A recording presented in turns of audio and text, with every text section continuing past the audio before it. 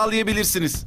Akıllı fabrikayla da makine duruş sürelerini ve sebeplerini anlık takip edebilir, üretim performansınızı artırabilirsiniz. Araç takip sistemi ile filonuzun konumunu ve rotasını kolayca takip edebilirsiniz. IoT çözümlerimizle üretim sektöründe verimliliğinizi artırın, maliyetleri azaltın. Çankaya. Türkiye Cumhuriyeti'nin kurucusu Atatürk'ü her yönüyle anlamak için harika bir eser.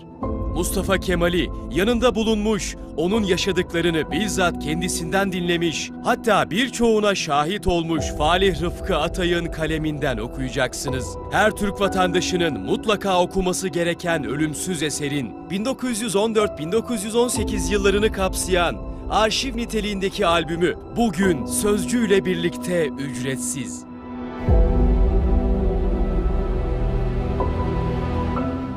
Efendim, ziyaretimizin sebebi yani e, sebebi ziyaretimiz... Doğal ol, doğal. Ballar tüm arıcılardan toplanır. Sadece doğallık testini geçenler bal parmak adını alır. Doğal denince böyle olması bu yüzden çok doğaldır. Bal bal bal bal parmak Doğal bal bal bal parmak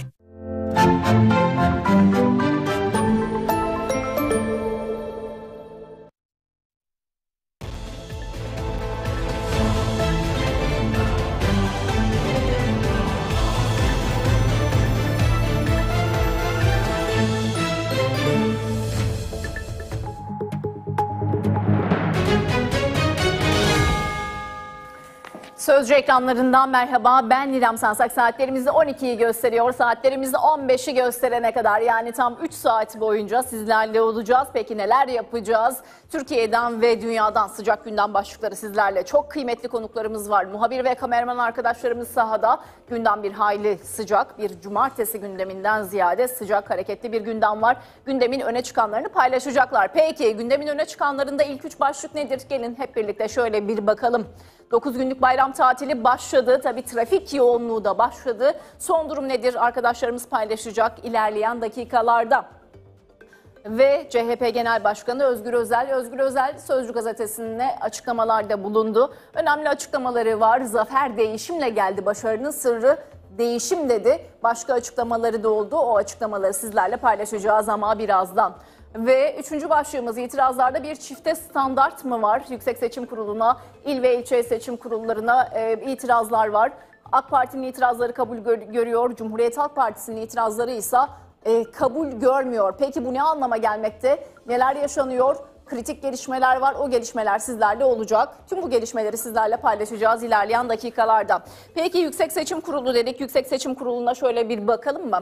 Emre Sercanike bizleri bekliyor. CHP'nin itiraz başvuruları ile ilgili gelişmeler neler acaba? Hemen bir soralım. Emre sana ve kameraman arkadaşıma kolaylıklar dili- diliyorum. Son durum nedir orada? Bir hareketlilik var mı? Bir açıklama bekliyor muyuz ilerleyen dakikalarda?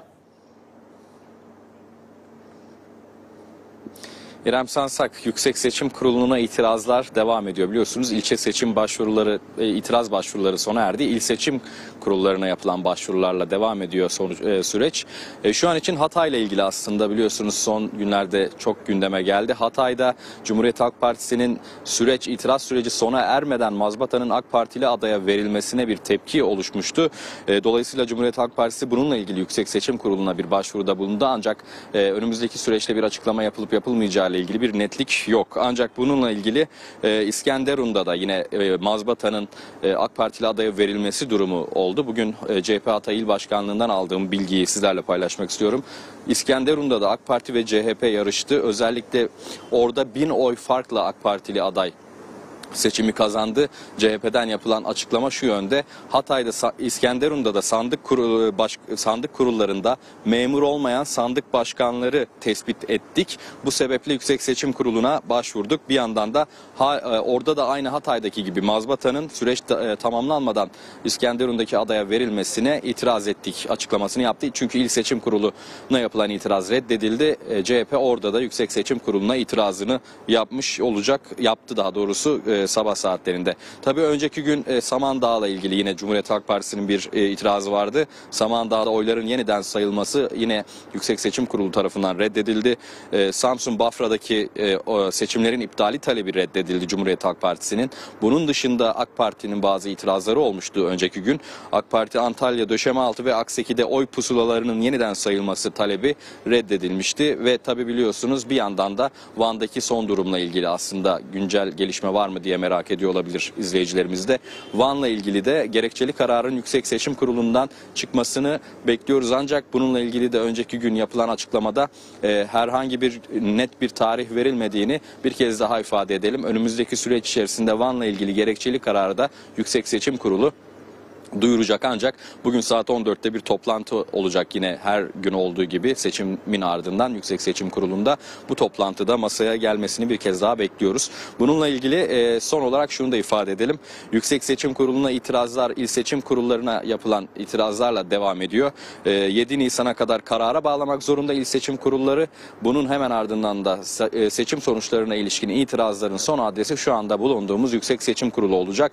Yüksek Seçim Kurulu'nun e, itirazların ardından da artık kesinle, kesin sonuçları duyurmasını ve yerel seçim sürecinin biteceğini bir kez daha ifade edelim İrem. Emre Sercan İkiye ve kameraman arkadaşımıza çok teşekkür ediyoruz. Yüksek Seçim Kurulu'ndaki son gelişmeler böyle yeni gelişmeler oldukça bir kez daha kameralarımızı çevireceğiz. Yüksek Seçim Kurulu'na Emre tüm gelişmeleri takip eden arkadaşımız diyelim ve siyasetteki gelişmelerle devam edelim mi? Neler yaşanıyor? Hangi açıklamalar geldi? Cumhurbaşkanı Erdoğan Türgev'in iftar programındaydı. Ee, ve gündeminde 31 Mart yerel seçimleri vardı. Erdoğan Beşiktaş'ta 29 kişinin hayatını kaybettiği yangın üzerinden muhalefete bakın nasıl yüklendi.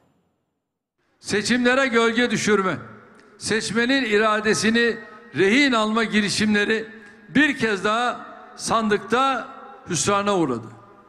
Bizler kadere ve takdire inanan insanlarız. Sandık sonuçlarının da davamız, hareketimiz, mücadelemiz açısından Allah'ın izniyle hayra tebdil olacağına yürekten inanıyoruz. 31 Mart sadece yeni bir dönüm noktası değil. Aynı zamanda daha büyük zaferlerin müjdecisi, muştusu ve habercisi olacaktır. Yolumuza yenilenmiş, tazelenmiş, çok daha güçlenmiş, Üstad Necip Fazıl'ın ifadesiyle pekleşmiş bir şekilde devam edeceğiz. Sürekli ahlak tüccarlığı yapan, sürekli işçinin, emekçinin hakkından bahseden bu çevreler önceki gün Beşiktaş'taki yangında hayatını kaybeden 29 emekçi kardeşimizle ilgili çıkıp tek cümle kurmadılar. Peki CHP Genel Başkanı Özgür Özel az önce açılışta sizlerle paylaştım. Sözcü gazetesine konuştu. Önemli açıklamaları vardı yerel seçimin ardından. Ee, CHP'nin başarısını seçmenin mesajını doğru okumasına bağladı. Özel'in gündeminde AK Parti de vardı. AK Parti halkla devleti yarışa soktu. Bu da kaybettirdi dedi. Sözcü gazetesinin manşetinde 47 yıl sonra CHP'yi birinci parti yapan Özgür Özel halka söz verdi. Zafer sarhoşluğuna kapılmayacağız başlığıyla yer almakta. Şimdi gelin hep birlikte haberimizi bir izleyelim bakalım hangi açıklamalar satır başlıkları var. Hata yapmayacağını söyledi, yeni hedefin Cumhurbaşkanlığı olduğunu vurguladı. CHP Genel Başkanı Özgür Özel, CHP'nin seçim zaferinin ardından sözcüye konuştu. Zafere götüren değişim oldu dedi. Cumhuriyet Halk Partisi yerel seçimlerde oyların %37,77'sini aldı. Yıllar sonra sandıktan birinci parti olarak çıktı. CHP Genel Başkanı Özgür Özel'e göre başarının sırrı değişim. Değişim sandıklara yansıdı. Rehavet yok, zafer sarhoşluğu yok. Seçimden birinci parti olarak çıkmamızın ilk haftası değil. Bir sonraki seçim hazırlığının ilk haftası olarak görüyoruz. Bir dahaki sefere Cumhurbaşkanlığını kazanmış bir parti olacağız. Hata yapmayacağız. CHP Genel Başkanı Özgür Özel'e göre AKP'nin kaybetme sebebi devletle milleti yarışa sokmak. CHP'yi başarıya götürense seçmeni anlamak. Seçmenin mesajını doğru okuduk. Partimizi 1977 seçimlerinden bu yana ilk kez birinci parti yaptık. Belediyeleri kazandık. Erdoğan'ın hatası ise devlet ve milleti yarışa sokmak oldu. Genel merkezle başkanların arası kötü gibi göstermek isteyecekler. Artık kazanmayı öğrendik. Kibirlenmeyeceğiz. Seçimler geride kaldı ama saha çalışması bitmedi. CHP Genel Başkanı bayramın ardından yeniden sahaya çıkacak. Teşekkür ziyareti yapacak. Özgür Özel bir teşekkür ziyareti yapacak. Peki İyi Parti Genel Başkanı Meral Akşener, İyi Parti'de 31 Mart yerel seçimleri öncesinde e, zaten bir hareketlilik vardı. Sular bir türlü durulmamıştı. Hala durulmadı o sular. Hala bir hayli hareketli. E, iftar programındaydı. Akşener, Ekrem İmamoğlu ve Mansur Yavaş'tı gündeminde. E, seçilmesine vesile olduğumuz kişilerin daha sonra kocaman birer hırsız olduğunu anladığımızda çektiğimiz acıları anlatmam mümkün değil dedi. Bugün benim Türkiye'nin geleceğine dair umudum arttı. Bugün benim Türkiye'nin sonrasına yönelik umudum arttı. Yani ne demek istiyorum? Hepimiz dürüstlük nutukları atıp dürüst olduğuna kefalet koyup seçilmesine vesile olduğumuz kişilerin daha sonra kocaman birer hırsız olduğunu anladığımızda çektiğimiz acıları anlatmam mümkün değil. Mesela ben çok üzgünüm. Ama aldığımız oy oranı ya da kazandığımız yerlerin azlığı veya çokluğu üzerinden değil. O sizin milletimizin bize verdiği bir mesaj, o mesajı alır, düşünür, gereğini yani o mesajın bize verdiği şöyle çalışın, böyle deyin, böyle konuşun, şunu şöyle yapın mesajını alır değerlendirir. Elbette ki onun ortaya koyduğu yol haritasına uyarız. Peki Van'la devam edelim. Van'da büyük bir krizde şu anda biliyorsunuz. Seçim kazanan DEM Parti adayı Abdullah Zeydan'a mazmata verilmemesi tartışması Yüksek Seçim Kurulu kararıyla kapandı ama e, yankısı hala sürüyor. İşte çeşitli açıklamalar geldi. Cumhurbaşkanı Erdoğan dedi ki milletin iradesine hürmetsizlik etmeyiz dedi. Sonra Özgür Özel bir açıklama yaptı. E, Van'da o kadar terör örgütü bileşeni varsa mahvolmuşuz. E, biz o zaman e, o kalabalık Van halkıdır e, dedi. Özellikle de Adalet ve Kalkınma Partisi'nde e, Cumhurbaşkanı'na en yakın isimlerden Mehmet Uçum Yüksek Seçim Kurulu kararını destekleyen AK Partililere adeta gözdağı verdi. Yeni günde uçma tepkiler de devam etti. AK Parti'de uçum çatlağı mı var sorusu gündemdeki yerini koruyor.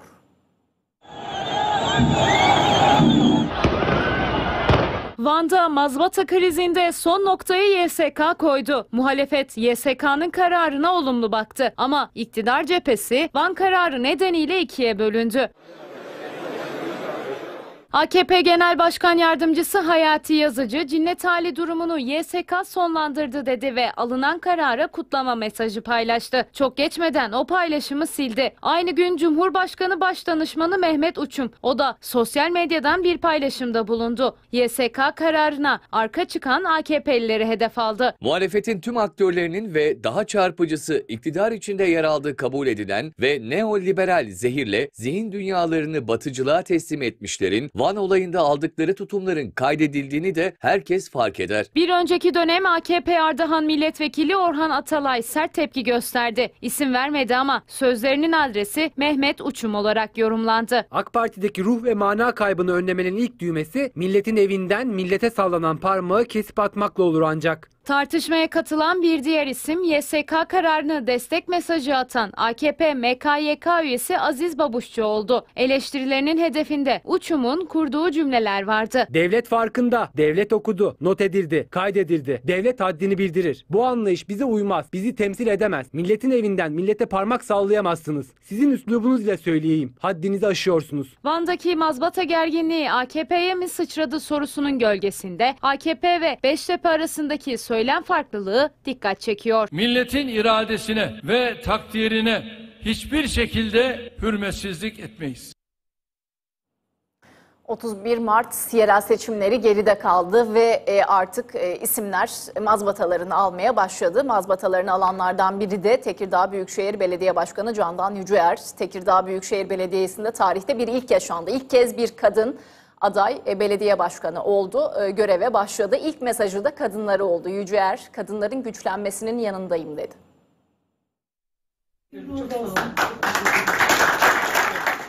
Mazbatasını aldığı görevinin başına geçti. Tekirdağ'da Candan Yüceer dönemi resmen başladı.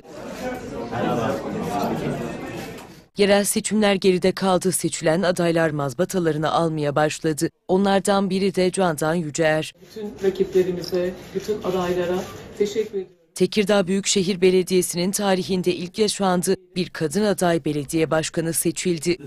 Başkanım şöyle bakarsak.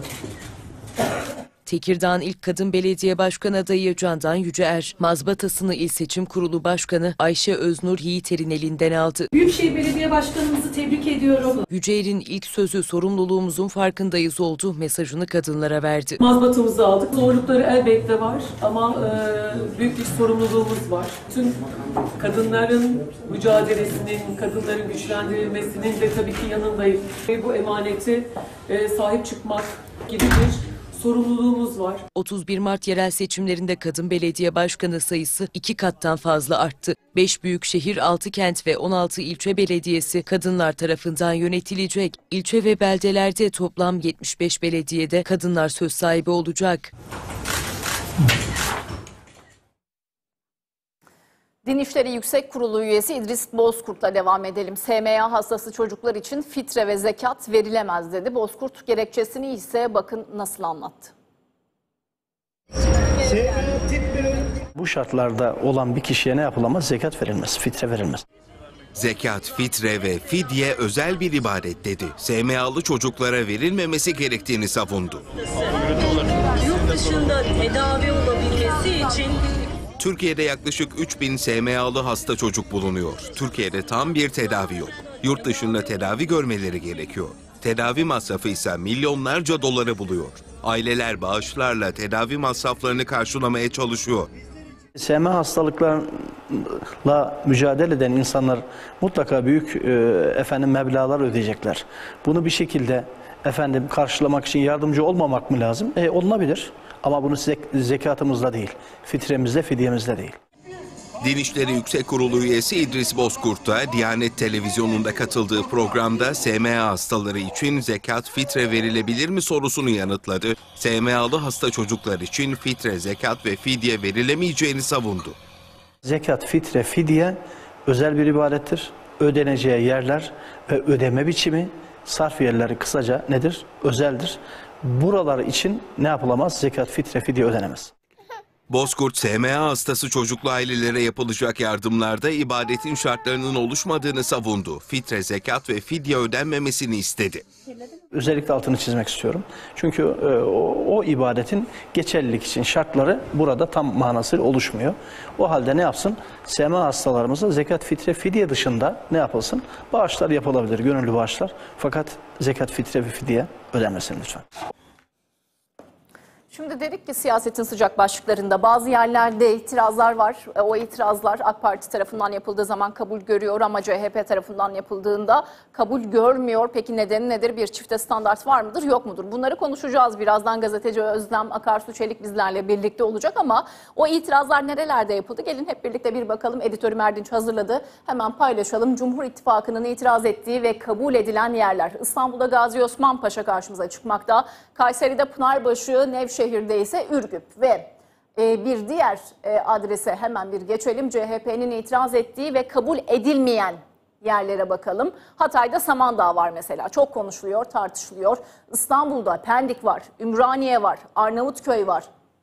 Antalya'da Akseki ve Döşemealtı çok konuşulan e, bölgelerden biri ve Samsun Bafra'da aynı şekilde e, itiraz edilen, kabul edilmeyen, e, itirazın kabul edilmediği adreslerden bir diğeri. Konuşalım şimdi. E, gazeteci Özlem Akarsu Çelik bizlerle birlikte. Hemen bir hoş geldin diyelim. Sayın Çelik hoş geldiniz Sözcü ekranlarına. Merhaba. Hoş bulduk. İyi yayınlar diliyorum herkese. Çok teşekkür ederiz. Çok naziksiniz. Şimdi az önce izleyicilerimizle de şöyle bir ön bilgi olarak paylaşmak istedim o adresleri. Ee, gözümüzde bir yandan Yüksek Seçim Kurulu'nda acaba bir e, yanıt gelecek mi, ne olacak, bir açıklama yapılacak mı diye. E, nedir e, bu itirazların gerekçeleri, ne oluyor, neden kabul edilmiyor, kabul edilirse neden kabul ediliyor? Şimdi e, en baştan başlayalım. Şöyle e, bir ruh hali oluştu. E, Cumhuriyet Halk Partisi ve e, CHP'li adaylara e, oy veren seçmende. Onlara sadece biliyorsunuz CHP seçmeni oy vermedi. E, milliyetçi, mütedeyyin kesimlerden de oy aldı bu adaylar. E, ve şöyle bir algı oluştu. O günden itibaren özellikle sosyal medyaya yansıyan mesajlardan bile bunu çıkarabiliriz e, buralar gasp edilecek. Bu ne kadar kötü bir e, ruh hali. Bir kere iktidarın oturup şapkasını önüne alıp bunu düşünmesi gerekiyor. E, iktidar temsilcileri ya da iktidarda bulunmuş ya da milletvekilliği yapan isimlerle görüştüğümüzde ben de e, naçizane şunu dile getirdim. Yani sizin insanların sandığa olan inancını kaybetmelerine neden olacak hamlelerden kaçınmanız gerekiyor. Bunun farkında mısınız? E, gördüğüm şu Adalet ve Kalkınma Partisi içinde e, farklı sesler yükseliyor bu süreçte. Aslında her seçim dönemi hem öncesi hem sonrası biz buna tanık olmuştuk. Ancak iktidarın devamı için çok kısa sürede bir e, yine bir yek vücut ve tek sese dönüşmüşlerdi. Aslında her zaman çok seslilik e, demokrasi demektir. İktidar partisi için de öyle. İşte partinin yok sayıldığı, e, herkesin reisçilik e, söylemi altında birleştiği ve Erdoğan'ın e, tek başına sahaya çıktığı bir seçimin sonucu bu. E, aslında burada e, kaybedenin e, bu zihniyet olduğu, bu tek insan zihniyeti olduğunu kendileri de görmüş oldu. E, özellikle Van'da denenen, çok e, denenen diyorum çünkü orada e, sadece bir yargı hatası olarak geçiştirilemeyecek bir durum söz konusu. Van'da denenen e, o olayın bir benzerinin yaşanmaması için Adalet ve Kalkınma Partisi içinde de farklı seslerin çıktığını görüyoruz. İşte Mehmet Uçum da e, onları hedef alan sert bir açıklama yaptı. E, burada aslında ben bir yazı yazdım. E, hemen bu Van'daki olayların gerçekleştiği gün e, Abdullah Zeydan'a mazbatasının verilmesi daha sonra kabul edildi.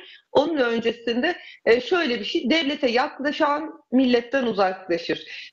Adalet ve Kalkınma Partisi iktidarı kendisini artık devletle özdeş hale getirince aslında milletin tercihlerini, eleştirilerini, e, nerede itiraz edeceğini, edeceğini göremez hale geldi. Ve artık bu e, kriminalize ederek özellikle Kürt seçmen, özellikle DEM Parti'nin e, seçmeni nezdinde toplumun bir kesini kriminalize ederek muhalefetin diğer unsurlarını onlardan uzaklaştırarak bu süre, süreci yönetemeyeceğini Van'da gördü. Ha bunun e, daha Aslında ileri aşamaları anlamda, mümkün e, mü? millet, Mümkün. Milletle girilen yarışta yarış her zaman milletin kazandığını da görmüş olduk. Yani evet e, her zaman böyle olmayabiliyor. Çok kötücül senaryolar olabiliyor ama bu kez gerçekten insanlar demokratik iradelerini ortaya koydu. Benim burada özellikle üstüne basa basa söylemek istediğim bir şey var. İnsanlar eğer sandığa gidiyorsa e, bunun bir şart Bakın dağda değil ovada siyaset yapsınlardan bugün kayyımlara geldik. Evet. gasp ediliyor. Ve burada batıdaki seçmen de Van'daki e, belediye başkanına sahip çıkarak aslında doğru bir yerde Evet. Ee, Özlem. Akarsu Çelik Yani e, bizlerle birlikteydi. Arkadaşlar istersek savunduğu- e, bir evet e, Özlem Çelik'in sesinde bir problem var. Arkadaşlarım yeniden bağlasınlar.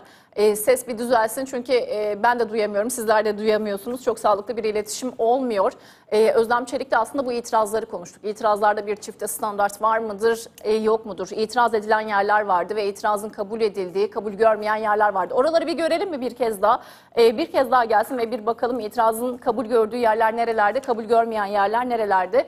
E, Cumhur İttifakı'nın itiraz ettiği ve kabul edildiği, e, kabul edilen yerlere bakacak olursak. Mesela İstanbul'da dedik Gazi Osman Paşa var dedik. Kayseri'de neresi var? Kayseri'de Pınarbaşı var. Pınarbaşı'na Cumhur İttifakı itiraz etti seç- seçim sonuçlarına. E, ve bu itirazlar kabul gördü. Nevşehir'de neresi var? Önemli bir adres. Ürgüp var. Peki e, Cumhuriyet Halk Partisi'nin itiraz ettiği ve itirazının kabul görmediği, reddedildiği yerler nereler? Hatay'da Samandağ karşımıza çıkıyor. İstanbul'da Pendik, Ümraniye var, Arnavutköy var. Önemli bir adres yine. Antalya'da Akseki ve Döşemealtı çok konuşuldu, tartışıldı. Ee, itiraz edildi. Neden kabul edilmedi e, buralar diye. Hala açıklamalar geliyor. Ee, Samsun, Samsun'da Bafra karşımıza çıkmakta. Yine Samsun için önemli adreslerden e, biri.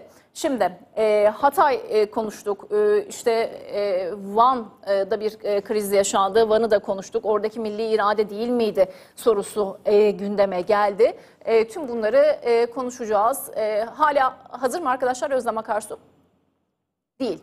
Tamam. Ee, Erzincan İliş'te bir devam edelim. Sonrasında Özlem Hanım hazır olduğunda ona bir döneceğiz. Erzincan İliş'teki maden faciasıyla devam ediyoruz. Tonlarca zehirli toprağın altında kalan 9 işçiden birinin cansız bedenine 53 gün sonra ulaşıldı.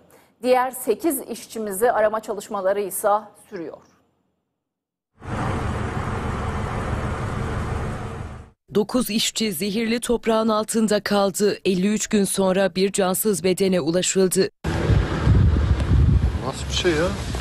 13 Şubat'ta Erzincan İliç'te Anagold'un maden sahasında göçük meydana geldi. 9 işçi 10 milyon metreküp kimyasal toprağın altında kaldı. Facia tüm Türkiye'yi yasa boğdu. Soruşturma kapsamında mühendis, yönetici ve idarecilerden oluşan 9 kişi tutuklandı.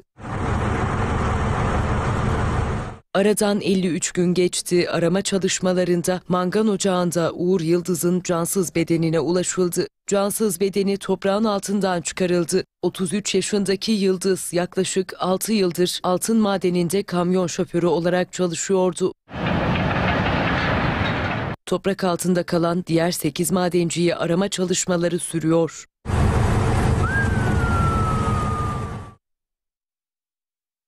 Peki Özlem Akarsu Çelik bizlerle birlikteydi. Bir ses problemi olmuştu. Umarım halledildi. Ee, bir kez daha hoş geldiniz. Cümleniz yarım kaldı. Lütfen buyurun. Hoş bulduk. Şunu söylemek istiyordum. Ee, Van'da gerçekleşen olayın bir benzerinin yaşanmaması için bundan sonra da seçim için itiraz edilen yerlerde hassasiyetle üstünde durulması gereken konu e, bu halkın sandığa olan güveninin sarsılmaması gerekiyor. İktidarın bu sorumlulukla hareket etmesi gerekiyor. Ee, Yüksek Seçim Kurulu'nda olaya böyle yaklaşması gerekiyor. Ee, ne yazık ki insanlar e, Peki, hala Seçim doya doya e, sevinemiyorlar. Karar verirken e, bu noktada referansı ne oluyor? Ne olması gerekir? Yani elbette referansın e, siyasetten bağımsız e, bir takım ölçülerle ele alınması gerekiyor. Ancak örneğin e, meslektaşımız İsmail meslektaşımız İsmail Saymaz Gazi Osman Paşa ilçesi İstanbul için e, bir uyarıda bulunup demişti ki işte AKP'liler vermek istemiyor e, seçimi.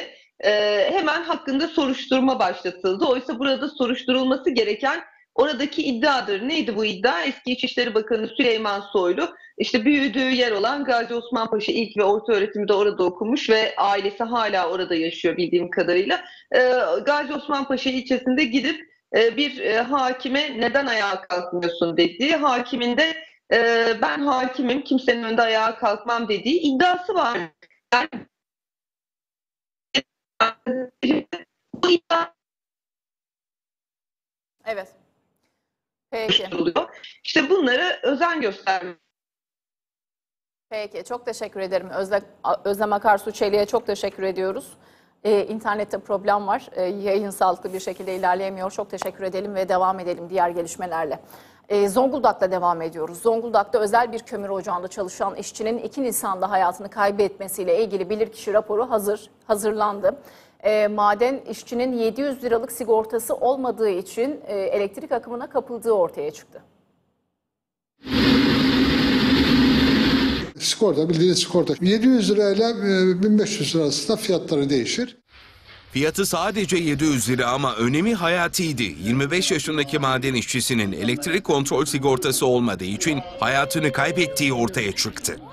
Yönetmelik de konmuş. Kaçak akım rolesi yani hayat rolesi her panoda olacak diye. Zonguldak,'ta Dilaver Enerji'ye ait maden ocağında 2 Nisan sabaha karşı bakım yapılıyordu. Elektrikçi olarak çalışan Soner Korkut kaçak akıma kapıldı. 25 yaşındaki işçi hastaneye yetiştirilse de tüm müdahaleye rağmen kurtarılamadı. Savcılık ve Türkiye Taş Kömürü Kurumu Birliği bilirkişi heyeti incelemelerini tamamladı. panoda elektrik akımını kesen sigorta olmadığı ortaya çıktı. Kömür ocağındaki iş güvenliği uzmanının da 17 Aralık 2023'te kaçak elektriğe karşı uyardığı belirtildi. Malzemelerin alınması, takılması, taktırılması, gerekiyorsa taktırılması tamamen işveren yükümlülüğündedir. İki iş sağlığı güvenliği uzmanı adli kontrol şartıyla serbest bırakıldı. Uyarılara rağmen maden ocağında önlem almayan işletme müdürü Yusuf Çavdar tutuklandı. Kazanın oluş nedenlerinden bir tanesi elektrikçi tamirat ve bakım yaparken elektriği kesmemiş olmasıdır. Peki seçim sonrasında yaşanan e, büyük bir e, facia İstanbul Gayrettepe'deki gece kulübünde 29 kişinin hayatını kaybettiği e, olayı e, ruhsatsız tadilat esnasında tüp patladı ve içeride elyaflar vardı. Elyaflar bir anda tutuştu ve alevler büyüdü. 29 kişi içerideydi. E, yangın hakkında soruşturma başlatıldı. Gözaltındaki 11 şüpheli savcı karşısına çıktı ve 9 şüpheliden 8'i tutuklandı. Nasıl ıslandı? Ruhsatsız tadilatta tüp patladı. Gece kulübünü alev sardı. 29 kişi hayatını kaybetti. Gözaltına alınan 11 kişiden 8'i tutuklandı. 29 kişinin hayatını kaybettiği olayda soruşturma devam ediyor. 11 kişi gözaltına alınmıştı. İstanbul Adalet Sarayı'na getirildi. Bu noktada ise savcılığa ifade verdiler. İstanbul Gayrettepe'de 16 katlı binanın zemin katındaki eğlence mekanında ses yalıtımı ve dekor tadilatı yapılıyordu. Kaynak yapılırken tüp patladı, malzemeler tutuştu. İçeride, ata içeride. Gece kulübünün tadilat izni yok. İşçiler günlerdir çalışıp burada kalıyordu. Alevler birden eğlence mekanını sardı. Yangın kısa sürede büyüdü. İşçiler içeride kaldı. 29 kişinin hayatını kaybettiği yangın felaketi hakkında soruşturma açıldı. 11 kişi gözaltına alındı. Savcılık 9 kişi için taksirle birden fazla kişinin ölümüne neden olma suçundan tutuklama talep etti. Gözaltındaki muhasebeci ve işletme müdürü serbest bırakıldı. Soruşturmada karar çıktı. 9 şüpheliden 8'i tutuklanırken işletme ortaklarından Fatma Dörtgül adli kontrol şartıyla serbest bırakıldı. Dörtgül'e yurt dışına çıkış yasağı verildi. Bilirkişi raporuna göre işçiler kendilerine verilmeyen eğitim yüzünden yanarak hayatlarını kaybetti. Bilirkişi heyeti işverenleri kusurlu buldu. Acil çıkış kapılarının kapalı olduğu tespit edildi.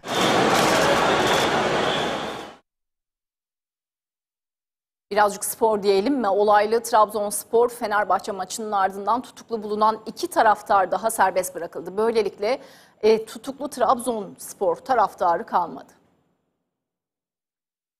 Trendyol Süper Lig'in 30. haftasında oynanan Trabzonspor Fenerbahçe maçının bitiş düdüğüyle birlikte yaşanan saha olayları sonrası tutuklanan taraftarların birçoğu daha önce serbest bırakıldı. Tutuklu son iki taraftar için de tahliye kararı çıktı. Böylelikle tutuklu Trabzonspor taraftarı kalmadı. Trabzonspor Fenerbahçe maçının ardından tespit edilerek tutuklanan taraftarlar Fenerbahçeli oyunculardan şikayetçi oldu.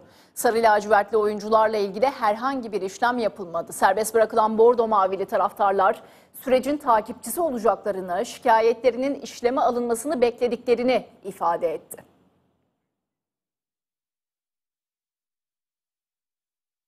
Ramazan bayramına sayılı günler kaldı. Çarşamba günü bayramın birinci günü, salı günü Arife bayramın simgesi ikramlık şekerlerde tezgahtaki yerini aldı. Rengarenk şekerler var böyle e, can alıcı E, ama tüketicinin eli kolu yine boş, torbalar boş, e, çantalar boş. Çünkü malum fiyatlar yani fiyatlar ortada, tezgahlar ortada.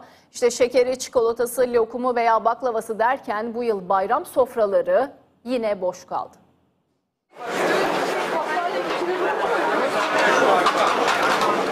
Yok yok eski bayramlar. Nerede? Yüzümüzde tebessüm var mı? Şöyle bir baksana gülüm. Bir tebessüm eden insan var mı? Hiç yani tadı tuzu yok. Hiçbir şeyin tadı tuzu yok yani. Bayram alışverişine çıkanlar da eski bayramları özledi. Çarşıda ne yüzler güldü ne de eller kollar alışveriş poşetiyle doldu. Her şey fiyatlı. Ucuz bir şey kalmadı artık.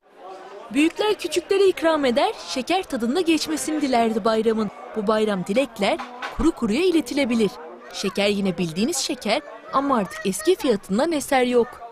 Sadece bir şekerle olmuyor. Çocuklar var, torunlar var. Bunlara karşı emekler hep mahcup. Bu bayram tatlı yiyip tatlı konuşmak hayallere karıştı. Çünkü tüketicinin şimdiden ağzının tadı kaçmış durumda. Malum şeker fiyatları kilo fiyatı 240 lira oldu. Geçen yıl bu fiyat 120 liraydı. Bayram alışverişinin merkezi Eminönü yine yoğun. Tatlı telaş herkesi sarsa da alışveriş yapanlar yok denecek kadar az. Eskiden alışverişi Türkler yapar, turistler gezmeyi tercih ederdi. Şimdi Türkler de turist gibi geziyor. Gezmeye geldik bayram alışverişine yapamıyoruz artık. Çok pahalı olduğu için maalesef ulaşamıyoruz. Onun için gezmeye geldik, vakit geçiriyoruz. Neden yok sizce? Ne değişti? Ekonomik koşullardan dolayı ne değişecek yani başka ne var ki? Bayram alışverişte mi geldiniz Eminönü'ne? Vallahi geldik ama pahalı bir şey alamıyoruz. Nelere baktınız alamadınız? Şekere, kuru yemişe, elbise hiçbir şey alamıyoruz. Şekeri, çikolatası, lokumu ve baklavası derken iş içinden çıkılmaz bir hale alıyor. Elimize iki parça bin lira verdik gidiyoruz. Neler alabildiniz peki? Yarım kilo lokum, yarım kilo kahve, yarım kilo da kuru yemiş. Hadi bakın bayram yap. Nasıl yapacaksan yap. Alınacak gibi değil maalesef. Ya alanda yani çok kısıtlı bir şekilde çok az bir miktarda alıyor. Mahcup olmamak için misafirlerine gelenine giderler. Yukarıdakiler saltanat sürüyor, halk ceremesini çekiyor.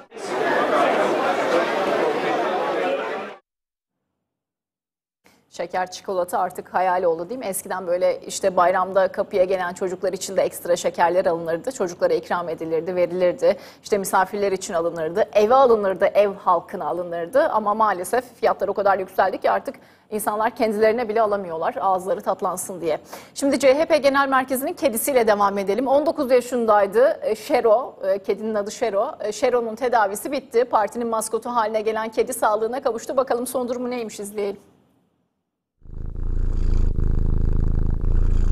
Partinin maskotu haline geldi. CHP'nin kedisi Şero'nun tedavisi bitti, sağlığına kavuştu.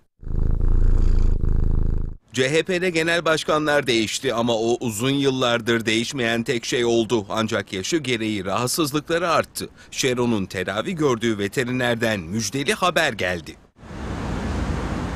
Bugüne kadar tüm tedavi süreçlerinde olumlu yanıt verdi Şero. Şimdilerde yaşadığı rahatsızlığını da atlattı. Şu an 19 yaşında Şero, 19 Mayıs'ta da 20. yaşına girecek. Seçim sonrası ekonomi hamleleri, işte ekonomi ne olacak, ne olmayacak bunlar da çok konuşuluyor. Merkez Bankası'nın arka kapı satışları nedeniyle dolar TL kuru uzun süredir 32 lira seviyesinde tutuluyor. İhracatçılarsa bunun yetersiz olduğunu belirtti ve kendilerine özel bir kur talep etti. İhracattan kazanılan doların 40 liradan bozdurulmasını talep ediyorlar. Böyle bir talepleri var. Peki bu talebin karşılığı piyasada nedir acaba? İzleyelim. İhracatçı kendilerine özel kurda ısrarlı. Daha önce talepleri reddedilse de yine çift kur isteğiyle gündemdeler. Merkez Bankası'nın arka kapı satışlarıyla dolar uzun süredir aynı seviyede baskılanıyor. İhracatçılarsa döviz gelirlerini bozdurduklarında dolar kurunun 32 lira yerine 40 liradan işlem görmesini yani dolar TL paritesinin ihracatçı için 40 liraya yükseltilmesi çağrısı yaptı. Şu talebini ben doğru bulmuyorum ihracatçının. Bize kur sübvansiyonu verin. Şimdi bir program var. Bu program 86 milyon kişi içindir. Ben 86 milyon kişi üzerinden ihracatçıya sübvansiyon veremem. Hazine ve Maliye Bakanı Mehmet Şimşek seçim öncesinde ihracatçının özel kur isteğine kapıları kapattı. Ancak ihracatçı ses yükseltmeye devam ediyor. Bu kez de İstanbul Hububat Bakliyat Yağlı Tohumlar ve Mamulleri İhracatçıları Birliği Başkanı Kazım Taycı açıklama yaptı. Mevcut dolar kurunun enflasyonun altında kaldığına dikkat çekti. İhracatçılar gibi biz gıda ihracatçıları da kurdan dolayı şu an muzdaribiz. Bu şekilde fiyatlandırma yaptığımız zaman otomatikman döviz bazındaki fiyatlarımıza zam yapıyoruz. Yani 10 dolarlık ürünümüzü 11,5-12 dolara çıkardığımız zaman müşteriye döviz bazında niye zam yaptığımızı anlatamıyoruz. Mevcut uygulamada ihracatçılar kazandıkları dövizin %40'ını Merkez Bankası'na satmak zorunda.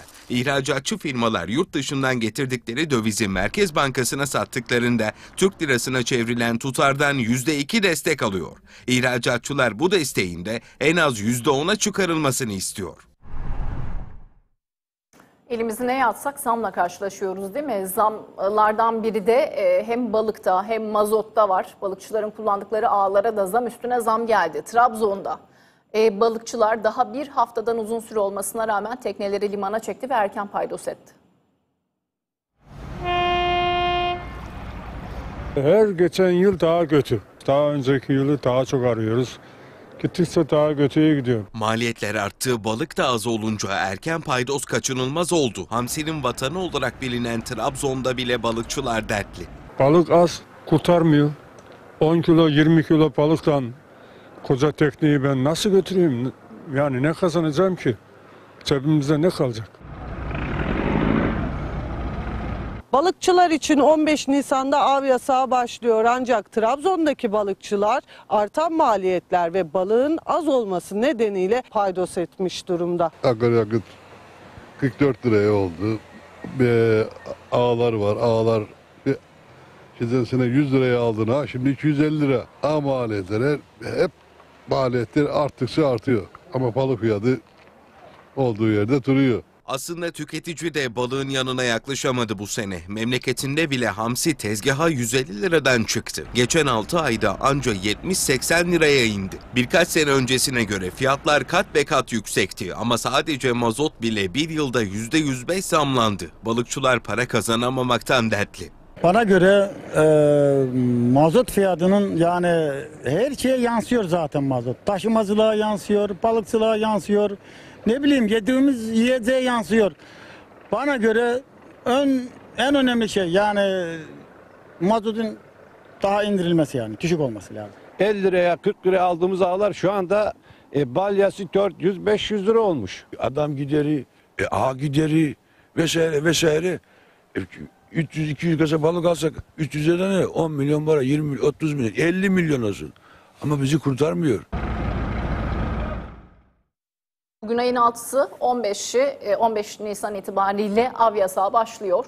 E, Bir değişiklik olmadığı sürece E, ve daha şimdiden işte e, balıkçılar teknelerini çektiler limana. Çünkü mazot pahalı, haklılar. E tabi balık pahalı.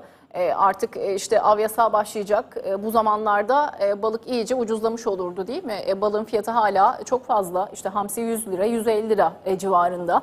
E, haklı olarak onlar da isyandalar. Herkes e, herkes isyanda, herkes için geçerli. E, peki sağlıkla devam edelim şimdi. E, sağlıkta da şiddet var, şiddet isyanı var. E, Çorlu Devlet Hastanesi'nde müdür yardımcılığı yapan bir kişi sağlık personeline saldırdı. Protez ve e, protez teknikeri Halil İbrahim Kazankaya başından yaralandı. E, ve taraflar birbirinden şikayetçi oldu. O kavga anında neler yaşandı? Kameralar kayıttaydı. Kameralara neler yansıdı? Gelin hep birlikte bir izleyelim. Bugün ne yazık ki yine sağlıkta şiddet vakası nedeniyle Çorlu Devlet Hastanesi önünde toplanmış bulunmaktayız. Hastane personelleri arasında kavga çıktı. Destek ve kalite hizmetler müdür yardımcısı protez ve ortez teknikerini darp etti. Sözleşmeli bir zanlı bugün arkadaşımıza yasal ceza alacak diye korkusundan şiddete başvurmuştur. Çorlu Devlet Hastanesi'ndeki iki görevli arasında malzeme alımı nedeniyle tartışma çıktı. Tartışma kısa sürede kavgaya dönüştü. Tekniker Halil İbrahim Kazankaya başın aldığı darbeyle yaralandı. İlk müdahaleyi hastanedeki arkadaşları yaptı. Bakayım kanıyor mu? Kavganın ardından taraflar karşılıklı şikayetçi oldu. Hastane yönetimi de olaya ilişkin idari soruşturma başlattı. Sakin ol lan sakin.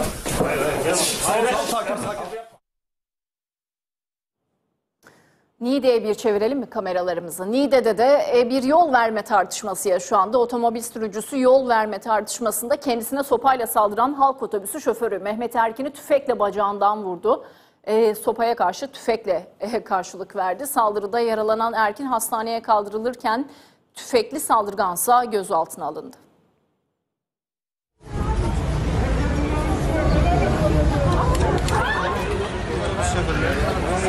Yol verme tartışmasında önce sopa sonra tüfek çıktı ortaya. Otobüs şoförü bir sürücüye sopayla saldırdı, karşılığı tüfekle aldı.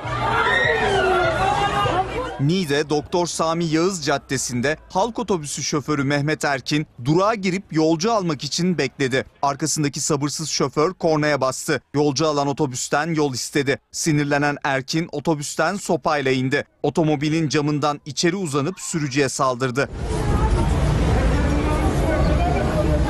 Çıkan arbedede otomobil sürücüsü kendisini dışarı zor attı ama eline tüfek almayı ihmal etmedi. Otobüse binen Erkin'in ardından o da otobüse bindi.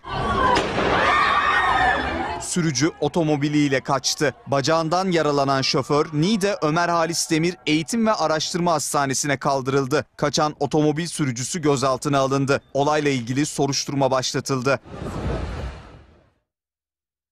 Mersin'e gidiyoruz şimdi de. Mersin'de bir aile yanarak hayatını kaybetti. Anne Nurgül Kaya ile 11 yaşındaki Emrullah evlerinde. Ee, baba Neşet Kaya'nın cansız bedeni ise evlerine 5 kilometre uzaklıktaki bir alanda aracının içinde yanmış halde bulundu. Ee, kesin öl- ölüm nedenleri hala belli değil. Yapılan inceleme sonrasında açıklanacak.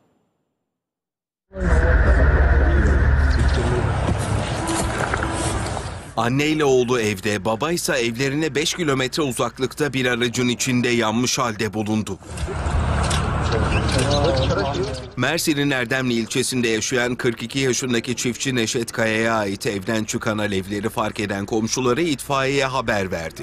Yangın kısa sürede kontrol altına alındı. İtfaiye erleri içeri girince yatak odasında 40 yaşındaki Nurgül Kaya ile 11 yaşındaki oğlu Emrullah'ın cansız bedenlerini buldu.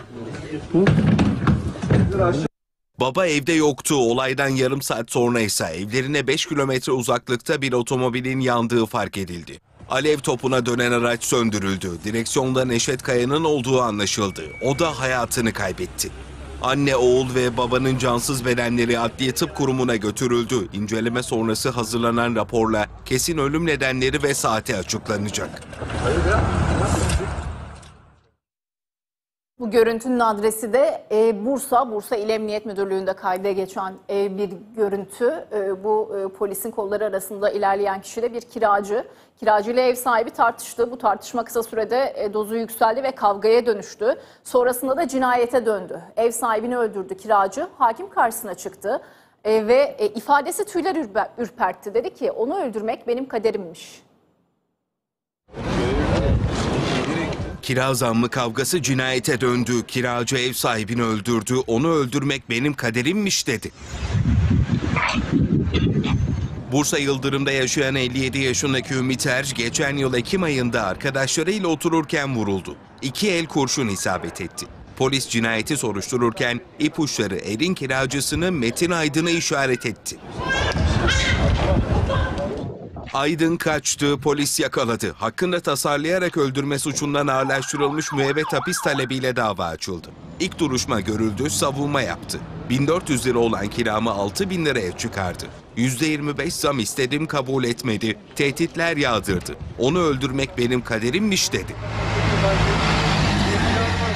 Karşı savunma yapılmak üzere duruşma ertelendi. Ve Bursa'ya çeviriyoruz şimdi de kameralarımızı. Bursa'nın Yıldırım ilçesinde kargo firması çalışanlarıyla müşteri arasında kargo alma tartışması çıktı bu kez. Müşteri bir süre sonra dükkana yakınlarıyla dönünce tartışma kavgaya dönüştü. Kavgada bir çalışan bıçakla yaralandı, 9 kişi ise bakın nasıl gözaltına alındı. Çalışanla müşteri tartıştı, kavga büyüdü. Bir kişi bıçakla yaralandı, 9 kişi gözaltına alındı. Kavga anı cep telefonu kamerasına yansıdı. Bursa'nın Yıldırım ilçesinde kargo firması çalışanları ve müşteri arasında kargo alma konusu nedeniyle tartışma çıktı. Öfkeli müşteri iş yerinden ayrıldıktan bir süre sonra yakınlarıyla birlikte geri döndü. Bunun üzerine tartışma kavgaya dönüştü. Kavgada bir kargo çalışanı bıçakla yaralandı. Olay yerine polis ve ambulans sevk edildi. Polis kavgayı güçlükle kontrol altına alırken yaralı kargo çalışanı ilk müdahalenin ardından hastaneye götürüldü. Kavgaya karışan 9 kişi gözaltına alındı. Bu yaşananların adresi ise e, bu kez İstanbul. İstanbul'un en işlek caddelerinden biri Nişantaşı Caddesi. e, bir anda boks ringine döndü. Tansiyon yükseldi. İki motosikletli birbirine girdi. Olay yerinde bulunan kadın polis memurları ise kavgayı izlemekle yetindi.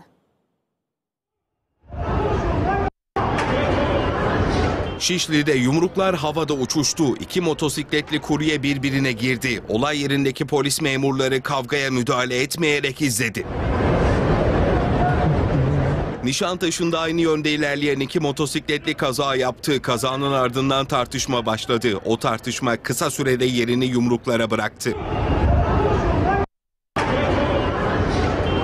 İki kuryenin kavgasını çevredeki esnaf ayırmaya çalıştı. İki taraf tam sakinleştiği esnada yeniden küfürleşmeler oldu. Ortalık yine karıştı.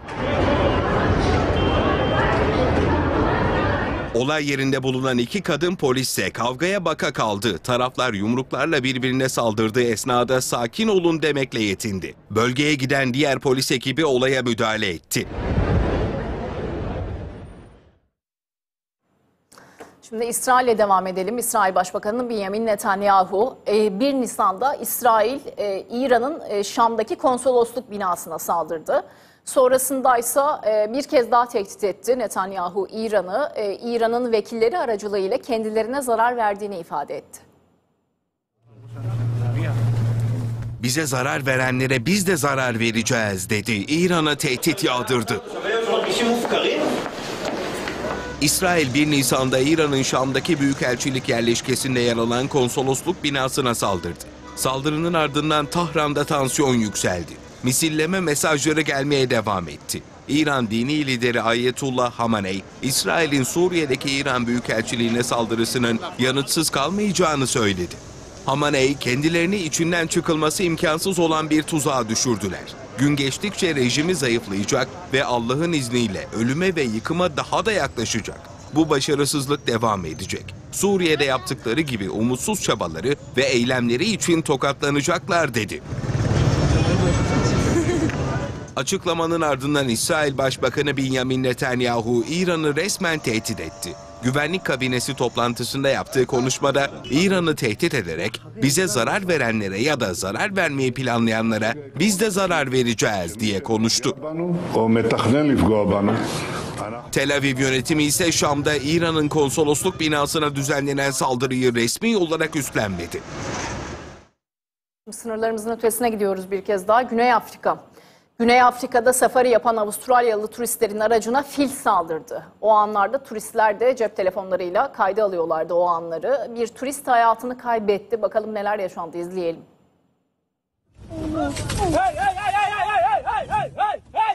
Safariye çıktılar, bindikleri araca fil saldırdı. Bir kişi hayatını kaybetti.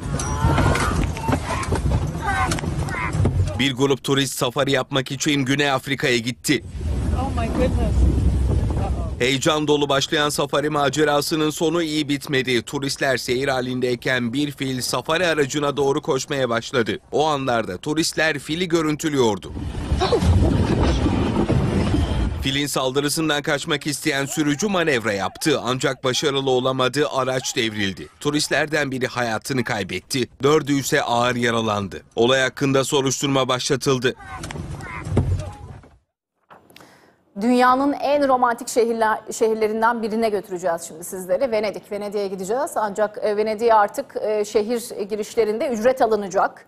E, Yeni bir uygulama başlıyor. Günlük turist yoğunluğu çok fazla ve bunu kontrol edebilmek amacıyla şehre günübirlik ziyarete gelen turistlerden giriş ücreti alınmasına yönelik bir uygulama başlıyor. Ne zaman başlayacak? 25 Nisan. 25 Nisan'dan itibaren eğer bir Venedik planınız, tatil planınız varsa artık para ödeyerek gireceksiniz Venedik'e.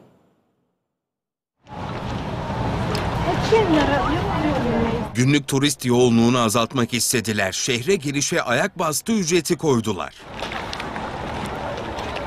İtalya'nın göz alıcı kanallarıyla ünlü yüzen şehri Venedik'te turist yoğunluğu son yıllarda katlanarak arttı. Çarpık yapılaşma ve iklim sorunlarıyla ciddi tehdit altında olan Venedik'e bir de turist akını artınca yetkililer kentte yaşanan sorunlara çareyi giriş ücreti koymakta buldu. 25 Nisan 2024'ten itibaren turistlerden 5 euroluk ayak bastı ücreti alınacak. Uygulama Temmuz'un ikinci haftasına kadar denenecek. Şehirde yaşayanlar, işe gidip gelenler, öğrenciler ve 14 yaş altındakiler, geceyi şehirde geçen turistler bu uygulamadan muaf tutulacak. Giriş ücretini ödeyen her turiste bir QR kodu verilecek. İhlal edenler 50 ila 310 euroya kadar para cezasına çarptırılabilecek. Şimdi çok kısa bir aramız var. Sonrasında biz yine buradayız. Birkaç dakika sonra bekleriz.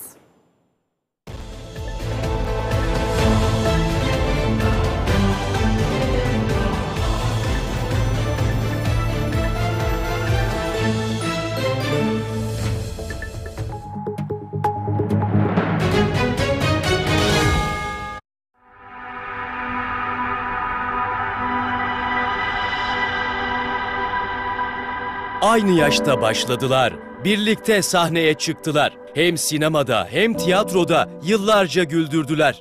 Bir ülkenin büyük komedi ikilisi oldular. Zeki Alasya Metin Akpınar'ın sanatsal yolculuğu Türkiye'nin yıldızlarında. Türkiye'nin yıldızları bu akşam 23.45'te Sözcü Televizyonu'nda.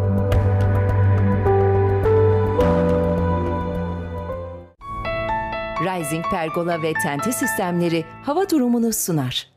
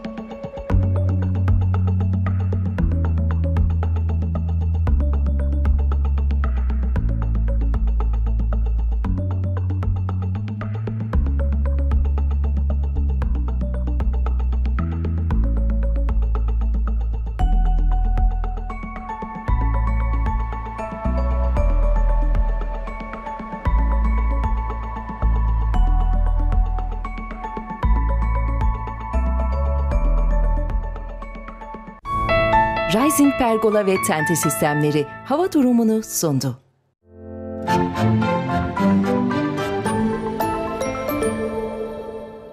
Gerçek futbol keyfi Arçelik dev ekranda yaşanır. Gerçekçi ses ve görüntü teknolojisiyle size futbolun coşkusunu yaşamak kalır. Üstelik şimdi tüm Arçelik 75 inç ve üzeri televizyon alışverişlerinizde bir yıllık Dijitürk taraftar paketi hediye. Detaylar Arçelik.com.tr ve Arçelik mağazalarında. Milli futbol takımları ana sponsoru ve sürdürülebilirlik ortağı Arçelik, milli takıma başarılar diler. Vodafone Business IoT çözümleriyle işleriniz sizin kontrolünüzde. Red Enerji ile %30'a varan elektrik tasarrufu sağlayabilirsiniz. Akıllı fabrikayla da makine duruş sürelerini ve sebeplerini anlık takip edebilir, üretim performansınızı artırabilirsiniz. Araç takip sistemiyle filonuzun konumunu ve rotasını kolayca takip edebilirsiniz. IoT çözümlerimizle üretim sektöründe verimliliğinizi artırın, maliyetleri azaltın. Çankaya. Türkiye Cumhuriyeti'nin kurucusu Atatürk'ü her yönüyle anlamak için harika bir eser. Mustafa Kemal'i yanında bulunmuş, onun yaşadıklarını bizzat kendisinden dinlemiş, hatta birçoğuna şahit olmuş Falih Rıfkı Atay'ın kaleminden okuyacaksınız. Her Türk vatandaşının mutlaka okuması gereken ölümsüz eserin 1914-1918 yıllarını kapsayan arşiv niteliğindeki albümü bugün Sözcü ile birlikte ücretsiz.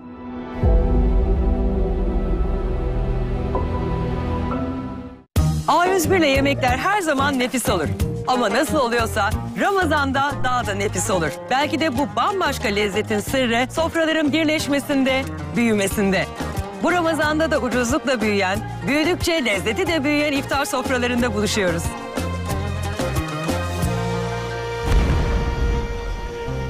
A101 ile Türkiye'nin dört bir yanında hep bir arada nice Ramazanlara. A101 harca harca bitmez.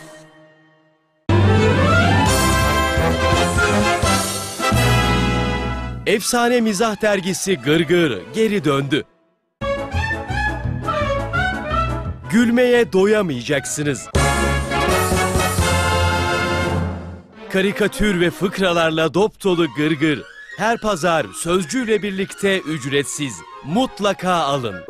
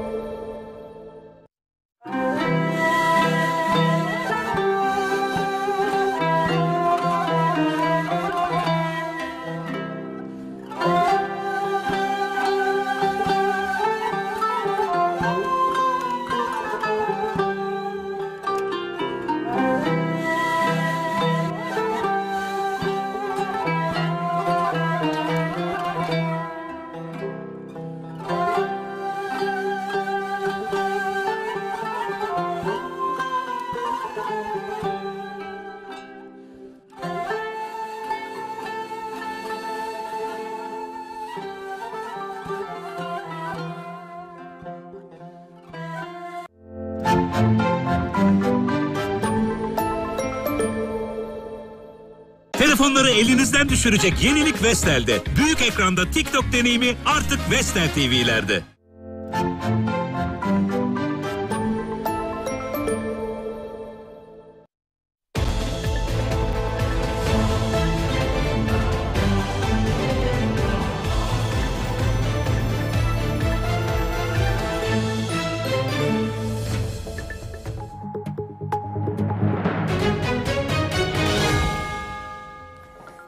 Ekranlarından bir kez daha merhaba. Ben İrem Sansak. Saatimiz 12.58'i gösteriyor. İkinci saat dilimindeyiz ve bir kez daha Türkiye'den, dünyadan sıcak gelişmelerle sizlerleyiz. Sabah saatlerinde e, İstanbul Boğazı'nda göz gözü görmüyordu. Görüş mesafesi düştü. E, sisle kaplandı İstanbul Boğazı.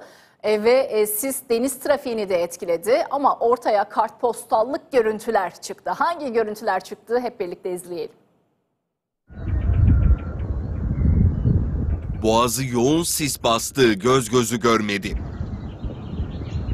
İstanbul Boğazı ve çevresini sabahın erken saatlerinde sis kapladı.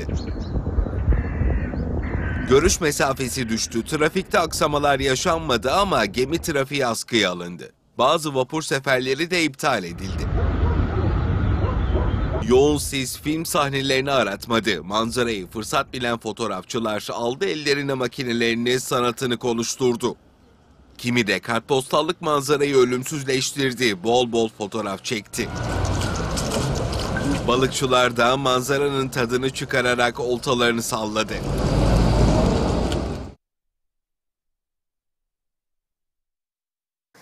Şimdi arkadaşımız Gülnur bizleri bekliyor. Çünkü e, sabah sis vardı, şimdi güneş var. Akşam saatinde ne olacak? Yarın ne olacak acaba? İstanbul'da nasıl bir hava var? İstanbullu sokaklarda mı 9 günlük bayram tatilinde başladı? Hemen bir soralım. E, Gülnur sana ve kameraman arkadaşıma kolaylıklar e, diliyorum. E, muhteşem bir deniz havası alıyorsunuz. Havada çok güzel böyle güneş pırıl pırıl, pırıl parlıyor. Peki son durum nedir bizlerle paylaşır mısın? Gece için bir yağış mı bekleniyor?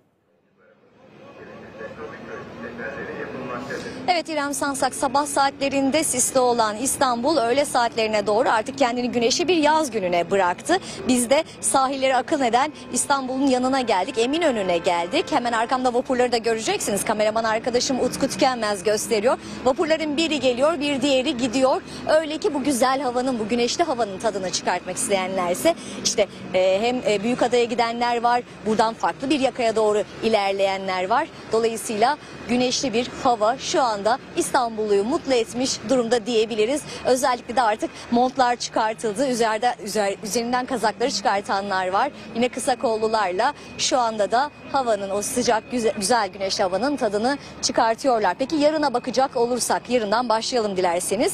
Yarın yine yağmurlu olacak. Sabah saatlerinde 5 civarı itibariyle başlayacak yağmur. Sabah e, öğle saatlerinde 11'e kadar da devam etmesi bekleniyor. Yine hava sıcaklığı gün içerisinde 17 ve 18 28 dereceleri de görecek. Bayram boyunca tabii hemen ardındansa bayram geliyor. Bayram boyunca da yine İstanbul'un havası çoğunlukla da güneşli olacak. Özellikle hava sıcaklığı gündüz gölgede 16-17 derecelerde. Fakat rüzgarın yine e, Poyraz'dan serin estiğinin de altını çizelim. Dolayısıyla hissedilen sıcaklık gölgede de 12 dereceye kadar da düşecek. Bu ne demek? Bu aslında yani o güzel güneşli havanın tadını çıkartırken bir taraftan Poyraz'ın estiğini de akıldan çıkartmamak. Dolayısıyla yanımıza mutlaka o serin havalarda giyebileceğimiz birer hırka, birer mont, birer e, ceket de almamızın önemi demek. Dolayısıyla sabah saatlerinde, öğle saatlerinde güneşli olan havalara özellikle bayram günlerinde dikkat edelim. Akşam saatleri yaklaştıkça da o hava serinlemeye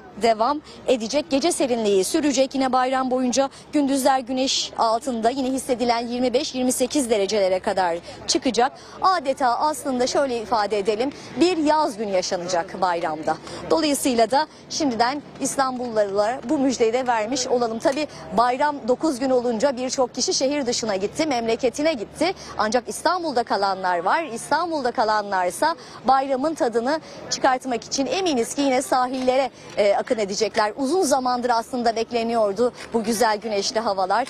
Biraz daha e, sakin bir şekilde bu atmosferin tadını çıkartmak isteyenler gördüğünüz gibi ağırlıklı olarak adalara doğru seyahat ediyorlar. Ya da Eminönü'nden Beşiktaş'a, Üsküdar'a, Beykoz taraflarını yine sahil hattını dolaşarak bir nebze de olsun o kış günlerindeki o evde oturmanın bir nebze olsun işte o acısını bu, bu şekilde gezmeyle çıkartıyorlar diye biliriz. Şu anda da Eminönü'nde gördüğünüz gibi artık az önce de bahsetmiştim. Ee, ceketler çıkartıldı, uzun kollar çıkartıldı. Artık birçok kişi şu anda yazdan kalma o güzel bir günü yaşıyor şu anda İstanbul'da. Ancak yarına dikkat etmek gerekiyor. Yarın öğle saatlerine kadar yağmur beklentisi var. Ancak öğleden sonra yine havanın serin seyredeceği, pazartesi gününden itibarense e, zaman zaman bulutlu, zaman zaman da çoğunlukla da güneşli olarak geçeceğinin de altını çizelim. Peki Gülnur Saydam'a ve kameraman arkadaşımıza çok teşekkür ediyoruz. İstanbul bugün günlük güneşlik ama e, akşam saatlerinden itibaren e, yağmur bekleniyor. Ne zamana kadar? Ta ki yarın öğle saatlerine kadar. E, aman dikkat dileyelim. Şöyle bir dışarı çıkarken belki üzerinize bir yağmurluk bir şemsiye alabilirsiniz. Nereye çeviriyoruz kameralarımızı? Samos'a çeviriyoruz. Kapıda vize uygulaması başladı. Yunan adalarına gidişte son durum nedir? Muhabir arkadaşımız Gamze Elçi'ye, kameraman arkadaşımız Cem Cengi Arslan'la eşlik ediyor. Gamze kolaylıklar diliyorum sizlere de. E, nasıl bir yolculuktu? Samos'ta hava nasıl? Rahat geçebildiniz mi? Prosedür nasıldı? Lütfen paylaşın bizlerle. Evet İrem, öncelikle havadan bahsedelim. Samos'ta hava çok güzel. Aslında İzmir'den çok da farklı değil buralar. Hava açısından da öyle. Şu an gayet güzel, ılık ılık esen bir rüzgar var. Hava da öyle. Tabii ki 9 günlük tatil süreci de başlamıştı. O yüzden aslında Seferihisar'dan Samos'a gelenler de var ve tabii ki Samos gibi birçok Yunanistan adasına gelenler var. Şimdi burada da başta buraya geldiğimizde de aslında ilgi de çok fazla olduğunu da söyleyelim. Türkiye'yi seviyoruz diyenler var. Ve burada da yine tatil bölgesi burası. Otellerin, pansiyonların olduğu yer genel olarak ve tadilatların olduğunu söyleyebiliriz. Aslında bizde de Çeşme'de şu an yazlık yerlerde tadilatlar var. Oteller yenileniyor, yazı hazırlanıyor. Burada da öyle. Peki biz buraya nasıl geldik? Hemen ondan bahsedelim. Yunanistan'da kapı vizesi başladı. Ve biz de bugün kameraman arkadaşım Cem Cengi Arslan'la birlikte kapı vizesiyle buraya geldik ilk kez. Ee, şimdi şunu söyleyebiliriz. Kapı vizesi için aslında e, 3-4 gün önceden belgeleri ayarlayarak ya turizm ajantalarıyla görüşmek gerekiyor ya da e, İDO'yla bağlantıya geçmek gerekiyor. Ancak İstanbul otobüs seferleri şu an için bu işleme vize kapıda vize işlemleriyle ilgili işleme henüz başlamadı. O yüzden turizm ajantalarıyla görüşebilirler. Evraklar 3-4 gün öncesinden teslim etmeleri gerekiyor ki Yunan makamları evrakların kontrolünü gerçekleştirsin ve onay versin diye. Biz de öyle yaptık. Evraklarımızı hazırladık. İki biyometrik fotoğrafımızı, pasaportumuzun ön yüzünü, kimlik fotoğrafımızı, basın kartlarımızı, ikametgahımızı, ee, yine sigorta yaptırdık. Sağlık sigortası burada başımıza bir şey gelirse diye tüm bu belgeleri hazırlayıp Arjantina'ya teslim ettik ve e, onlar bizim işlemlerimizi yaptılar. Yunan makamlarına gönderdiler ve bizim vizemiz için e, buraya giriş yapmamız için onay çıktı. Ama şöyle ki 3-4 gün öncesinden verince tamam onayınız çıktı gidebilirsiniz denildiğinde bu hemen e, giriş yapı elinizi kolunuzu sallayarak giriş yapacağınız anlamına da gelmiyor. Bu Seferihisar Sığırcık Yat Limanı'ndan girişimizi yaptık. Evraklarımız kontrol edildi.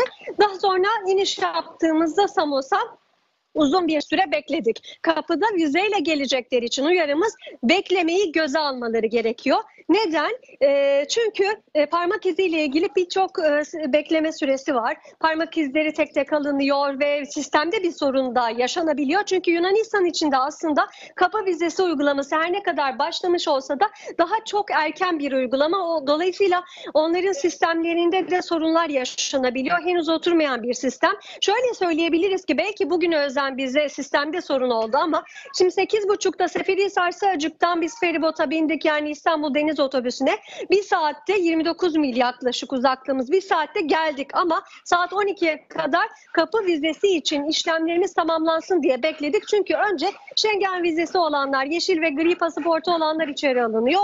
Onlar tamamen alındıktan sonra kapı vizesi için bekleyenleri tek tek içeri alıyorlar. Kontrol yapılıyor, evrak kontrolü ardından parmak izi işlemi var. O işlemden sonra biz de nihayet artık Samos'a ayak basabildik. Ve burası gayet güzel, e, turizm açısından da oldukça verimli. Neden Samos'u tercih ediyorsunuz diye Türk turistlere de sorduk. Onların cevabı buranın ekonomik açıdan bizim ülkemize göre çok daha ucuz olması, fiyatların çok kısa süreli aralıklarla e, zamlanmamasından bahsediyorlar. Peki gelecek olanlara bir de fiyat bilgisi verelim isterseniz. Şimdi kapıda vize işlemi için 60 euro ödedik. Ee, biz bugün İstanbul Otobüs seferleri biliyorsunuz İDO yani başladı ve ilk seferini Savonsa bu sezon için gerçekleştirdi. Dolayısıyla o ilk kafilenin içerisinde kameraman arkadaşım Cem Cengi Arslan'da ben de vardık ve bugün o feribot seferi içinde yani İDO seferi içinde 35 euro ödedik. Çünkü gidiş dönüş olacak. Biz sabah geldik akşam tekrar geri döneceğimiz için 35 euro ödedik ama bir gün kalmak isterseniz ya da kalmalı geleceksiniz 49 euro ödemeniz gerekiyor. Dolayısıyla Dolayısıyla 60 e, e, euro veriyor 60 euro veriyorsunuz e, buraya gelmek için kapı vizesi için. Bir de 35 euro verdiğinizde 95 euro oluyor ve bu sadece yol masrafınız. Buraya geldiğinde bir otel ya da işte bir pansiyonda kalmak için de ekstra ücret ödemeniz gerekiyor. Ya da yiyecek için de ekstra burada masraflarınız oluyor. Gelecek olanlara böyle bunu söyleyebiliriz. E, 7 gün kapıda vizeyle 7 gün sadece kalabiliyorsunuz Yunan adalarında. 10 ada var anlaşmalı olan adalar. Bu arada hem geri geri yürüyorum hem de anlatıyorum. O esnada aslında arkamda siz de bu manzarayı görüyorsunuz. Şimdi kameraman arkadaşım da size gösteriyor. Geri geri geldik.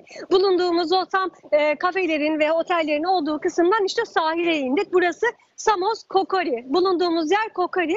Kokori'deki bu sahil şeridini görüyorsunuz. Aslında İzmir'e, İzmir'in e, sahil şeritlerini yani e, Çeşme'ye, Seferihisar'a gelenler, Datça'yı bilenler bilirler. Çok da farklı değil ve birbirine aslında çok benzediğini belirtmiş olalım. Evet eğer kapı vizesiyle gelecekseniz sadece e, 7 gün kalıyorsunuz. Buradan başka bir yere geçme imkanınız yok. 7 gün konaklama izni veriliyor size. Diyelim sözü tekrar size bırakalım. Gamze Elçi'ye ve kameraman arkadaşımız Cem Cengar sana çok teşekkür ediyoruz. Samos'ta durum böyle. 7 gün en fazla kullanabiliyorsunuz. Kapı vizesi uygulaması başladı.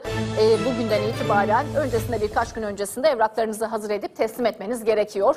Evrakları hazır etmek önemli bir sorun yaşamamak adına. Sonrasında da Yunan tarafına geçiyorsunuz. Samos'a geç, geçiyorsunuz. E, çok benzer aslında e, İzmir tarafıyla dedi Gamze. E, eğer böyle bir tatil düşünürseniz şimdiden paylaşmış olalım sizlerle. Peki e, ne neyle devam ediyoruz? Özgür Özel'le devam ediyoruz. Özgür Özel Sözcü gazetesine konuştu. Bugün manşette de var. Zafer sarhoşluğuna kapılmayacağız dedi. Ee, Özgür Özel 47 yıl sonra CHP'yi birinci parti yapan Özgür Özel halka söz verdi başlığıyla paylaşıyor. Bugün Sözcü gazetesi haberim AK Parti halkla devleti yarışa soktu ve bu da kaybettirdi açıklaması var. Gelin hep birlikte bakalım. Hata yapmayacağını söyledi, yeni hedefin Cumhurbaşkanlığı olduğunu vurguladı. CHP Genel Başkanı Özgür Özel, CHP'nin seçim zaferinin ardından sözcüye konuştu. Zafere götüren değişim oldu dedi. Cumhuriyet Halk Partisi yerel seçimlerde oyların %37,77'sini aldı. Yıllar sonra sandıktan birinci parti olarak çıktı. CHP Genel Başkanı Özgür Özel'e göre başarının sırrı değişim. Değişim sandıklara yansıdı. Rehavet yok, zafer sarhoşluğu yok. Seçimden birinci parti olarak çıkmamızın ilk haftası değil. Bir sonraki seçim hazırlığının ilk haftası olarak görüyoruz. Bir dahaki sefere Cumhurbaşkanlığını kazanmış bir parti olacağız. Hata yapmayacağız. CHP Genel Başkanı Özgür Özel'e göre AKP'nin kaybetme sebebi devletle milleti yarışa sokmak. CHP'yi başarıya götürense seçmeni anlamak. Seçmenin mesajını doğru okuduk. Partimizi 1977 seçimlerinden bu yana ilk kez birinci parti yaptık. Belediyeleri kazandık. Erdoğan'ın hatası ise devlet ve milleti yarışa sokmak oldu. Genel merkezle başkanların arası kötü gibi göstermek isteyecekler. Artık kazanmayı öğrendik. Kibirlenmeyeceğiz. Seçimler geride kaldı ama saha çalışması bitmedi. CHP Genel Başkanı bayramın ardından yeniden sahaya çıkacak. Teşekkür ziyareti yapacak. Bir son dakika gelişmesi var. Ekranlarımızda da yer almakta. Hatay'da mazbata ön Türkiye e, verildi. E, tartışmanın e, yapıldığı noktalardan biriydi. Tartışmalı bölgelerden biriydi. Hatay'da AK Parti adayı Mehmet Öntürk'e mazbata verildi. YSK'ya başvuru vardı e, ama e, Hatay İl Seçim Kurulu e, beklemedi e, bu başvuruyu ve mazbata AK Parti'nin adayı Mehmet Öntürk'e e, verildi. Bir son dakika gelişmesi olarak bir kez daha sizlerle paylaşmış olalım. Peki şimdi kiminle devam ediyoruz? E, Edirne Belediye Başkanı bizlerle birlikte, e, Filiz Gencan Akın bizlerle birlikte. Sayın Akın hoş geldiniz Sözcü ekranlarına. Hayırlı uğurlu olsun yeni göreviniz. Çok teşekkür ederim İrem Hanım. İyi yayınlar diliyorum öncelikle. Çok teşekkür ederiz bizler de. Ee, ben de e, başlamadan sorularımı öncelikle şunu söylemek isterim. Dün Avukatlar Günü'ydü. Siz de bir avukat avukatsınız ve e, kutlarım geçmiş Avukatlar Gününüzü. Ne söylemek istersiniz adalete dair? Çok, teşekkür ederim. Ben de tüm meslektaşlarımın Avukatlar Günü'nü kutluyorum. Ee, ben Benim için çok anlamlıydı. Mazbatamı aldıktan hemen sonra 5 Nisan Avukatlar Günü'nde tüm meslektaşlarımızla beraber kutladık. Dolayısıyla bundan da büyük bir mutluluk duyduk. Peki, e, şimdi şöyle sonuçlara bir baktığımız zaman e, aslında seçim yarışına geç başlayan isimlerden birisiniz. E, ama fark attınız. E, anket sonuçları vardı. E, bekliyor muydunuz e, böyle bir sonuç? Bir süreç yaşadık aslında. Aday sürecindeki belirsizlik nedeniyle sahaya biraz geç inmiş olduk. Ancak indikten hemen sonra, sahaya indikten hemen sonra hızlıca fark kapatmak için yoğun bir mücadele verdik bütün ekibimle beraber. Aslında hem örgütümüz hem diğer taraftan e, kadınlarımız, gençlerimiz bu seçimi hep beraber kazandık. O yüzden çok e, Edirne'nin de ilk kadın belediye başkanı olmaktan dolayı çok haklı bir gurur yaşıyoruz şu anda. Evet. E, birazcık kafa kafaya bir e, seçim e, geçirdiniz ve e, karşınızdaki rakibiniz de AK Parti'nin adayı da bir kadındı. Peki fark nasıl açıldı sizce? Ee, dediğim gibi sahaya biraz geç inmemiz nedeniyle e, biraz dezavantajlı olarak başladık. E, ama daha sonrasında e, neredeyse gece gündüz demeden, hiç yorulmadan e, çalışmalarımızı sürdürdük. E, bu arada tabii çok birçok manipülasyona maruz kaldık. Birçok anketle yüz yüze geldik. Hatta Evet, bazı anket anketlerde aslında e, geride görünüyordunuz değil mi? Anket sonuçları pek olumlu değildi sizin açınızdan. Ee, biz dediğim gibi hiçbir zaman umutsuzluğa kapılmadık. Aynı zamanda bütün anketler yayınlanırken biz hep şunu söyledik. Gerçek anket sahada biz her sahaya indiğimizde, her vatandaşı, vatandaşımızla buluştuğumuzda ha- halktaki, toplumdaki karşılığımızı gördük. Ee, ama az önce de ifade ettiğim gibi gençler ve kadınlar bu seçim zaferinin e, galibidir diye düşünüyorum. Dolayısıyla onlarla birlikte de yol yürümekten çok büyük bir mutluluk duyuyorum. Peki e, siz zaten doğma büyüme Edirnelisiniz. Edirne'de okudunuz değil mi? Yanlış mı biliyorum? E, evle, Edirne'de Yok, doğru, evlendiniz, evet. aileniz orada. E, peki e, bir Edirneli olarak e, siz farkı nasıl açtınız? Hangi vaadiniz Edirneliler üzerinde etkili oldu? Edirne'yi karış karış biliyorsunuz. E, Edirne'de mesela ilk icraatınız ne olacak? Özellikle kadınlara yönelik vaatleriniz de var. Çok merak ediyorum. Evet, ben e, özellikle bu seçim zaferini samimi ve dürüst yaklaşımlarımız ve hep şunu söyledik biz, bütün vaatlerimiz gerçekleştirilebilir, ayakları sağlam yere basan, aynı zamanda vatandaşımızın önceliklerini baz alarak hazırladığımız projelerde. Dolayısıyla biz e, öncelikle mazbatamızı aldık, göreve başladık. Göreve başladığımız ilk andan itibaren başkan yardımcılarımızla, müdürlerimizle bir araya geldik. Ve halka va- bulunduğumuz vaatleri gerçekleştirmek için hiç zaman kaybetmeden çalışmaya başladık. Öncelikle tabii ki bu ekonomik koşullar itibariyle sosyal yardımlarımızı hayata geçirmek için ivedi kararlar aldık. Kadınlarımızı ve gençlerimizi bu konuda öncelikledik. Dolayısıyla e, biz ilk meclisimizi yaptıktan hemen sonra bu vaatlerimizi bir bir yerine getirmeye başlayacağız. Peki e, o vaatleriniz neydi? Mesela Edirneli ne bekliyor? Bir Edirneli olarak siz daha iyi bilirsiniz. E, neyi eksik görüyor? Neyin olmasını gerçekleşmesini istiyor? Rahatsız olduğu ne vardı mesela? Neyi değiştireceksiniz siz Edirne'de? Ee, öncelikle bizim tabii e, altyapı ile ilgili bir takım sıkıntılarımız vardı. Süre gelen, bugüne kadar gerçekleştirilen ama bir taraftan da eksik kalan işlerimiz vardı. Bunlarla ilgili çok hızlı bir şekilde aksiyon planımızı belirledik ve çalışmalarımıza başladık. Diğer taraftan dediğim gibi sosyal yardımlarla ilgili emeklilerimize, kadınlarımıza, gençlerimize onların yanında olacağımızın sözünü verdik. E, dolayısıyla bu emeklilerimize yapacağımız yardım kadınları, kadınların, emeklilerin, e, emekliler çünkü biliyorsunuz zor durumda, büyük bir geçim derdi var. Evet. E, alım gücü çok düştü. E, emeklinin nasıl yanında olacaksınız? Kadınların ve gençlerin nasıl yanında olacaksınız mesela? Emeklilerimizle ilgili vaatlerimizde onlara e, elektrik, doğalgaz ve diğer yardımlarla ilgili bir limit koyduk. Bununla ilgili hemen harekete geçiyoruz. Diğer taraftan kadınlarımızla ilgili sevgi kart projemiz var. Sevgi kart projemizde hem bir taraftan yerli esnaftan alışveriş yapmak kaydıyla onların yanında olacağımızı söyledik.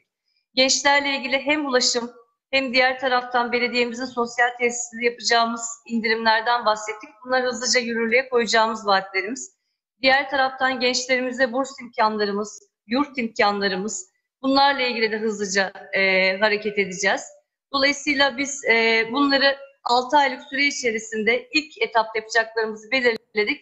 6 aylık süre içerisinde bunları hızlıca gerçekleştireceğiz. Peki e, çiftçiye mesela Edirneli çiftçiye vaadiniz nedir? Çiftçiye desteğiniz olacak mı? Nasıl Tabii, bir destek tabii. olacak Aynı çiftçiye? zamanda- aynı zamanda Edirne bir tarım şehri. Ama biz tabii sahadayken şunu gördük. Ee, özellikle Edirne'de çiftçilerimiz artık bu ekonomik koşullardan dolayı ne yazık ki tarım yapmaktan vazgeçiyorlar.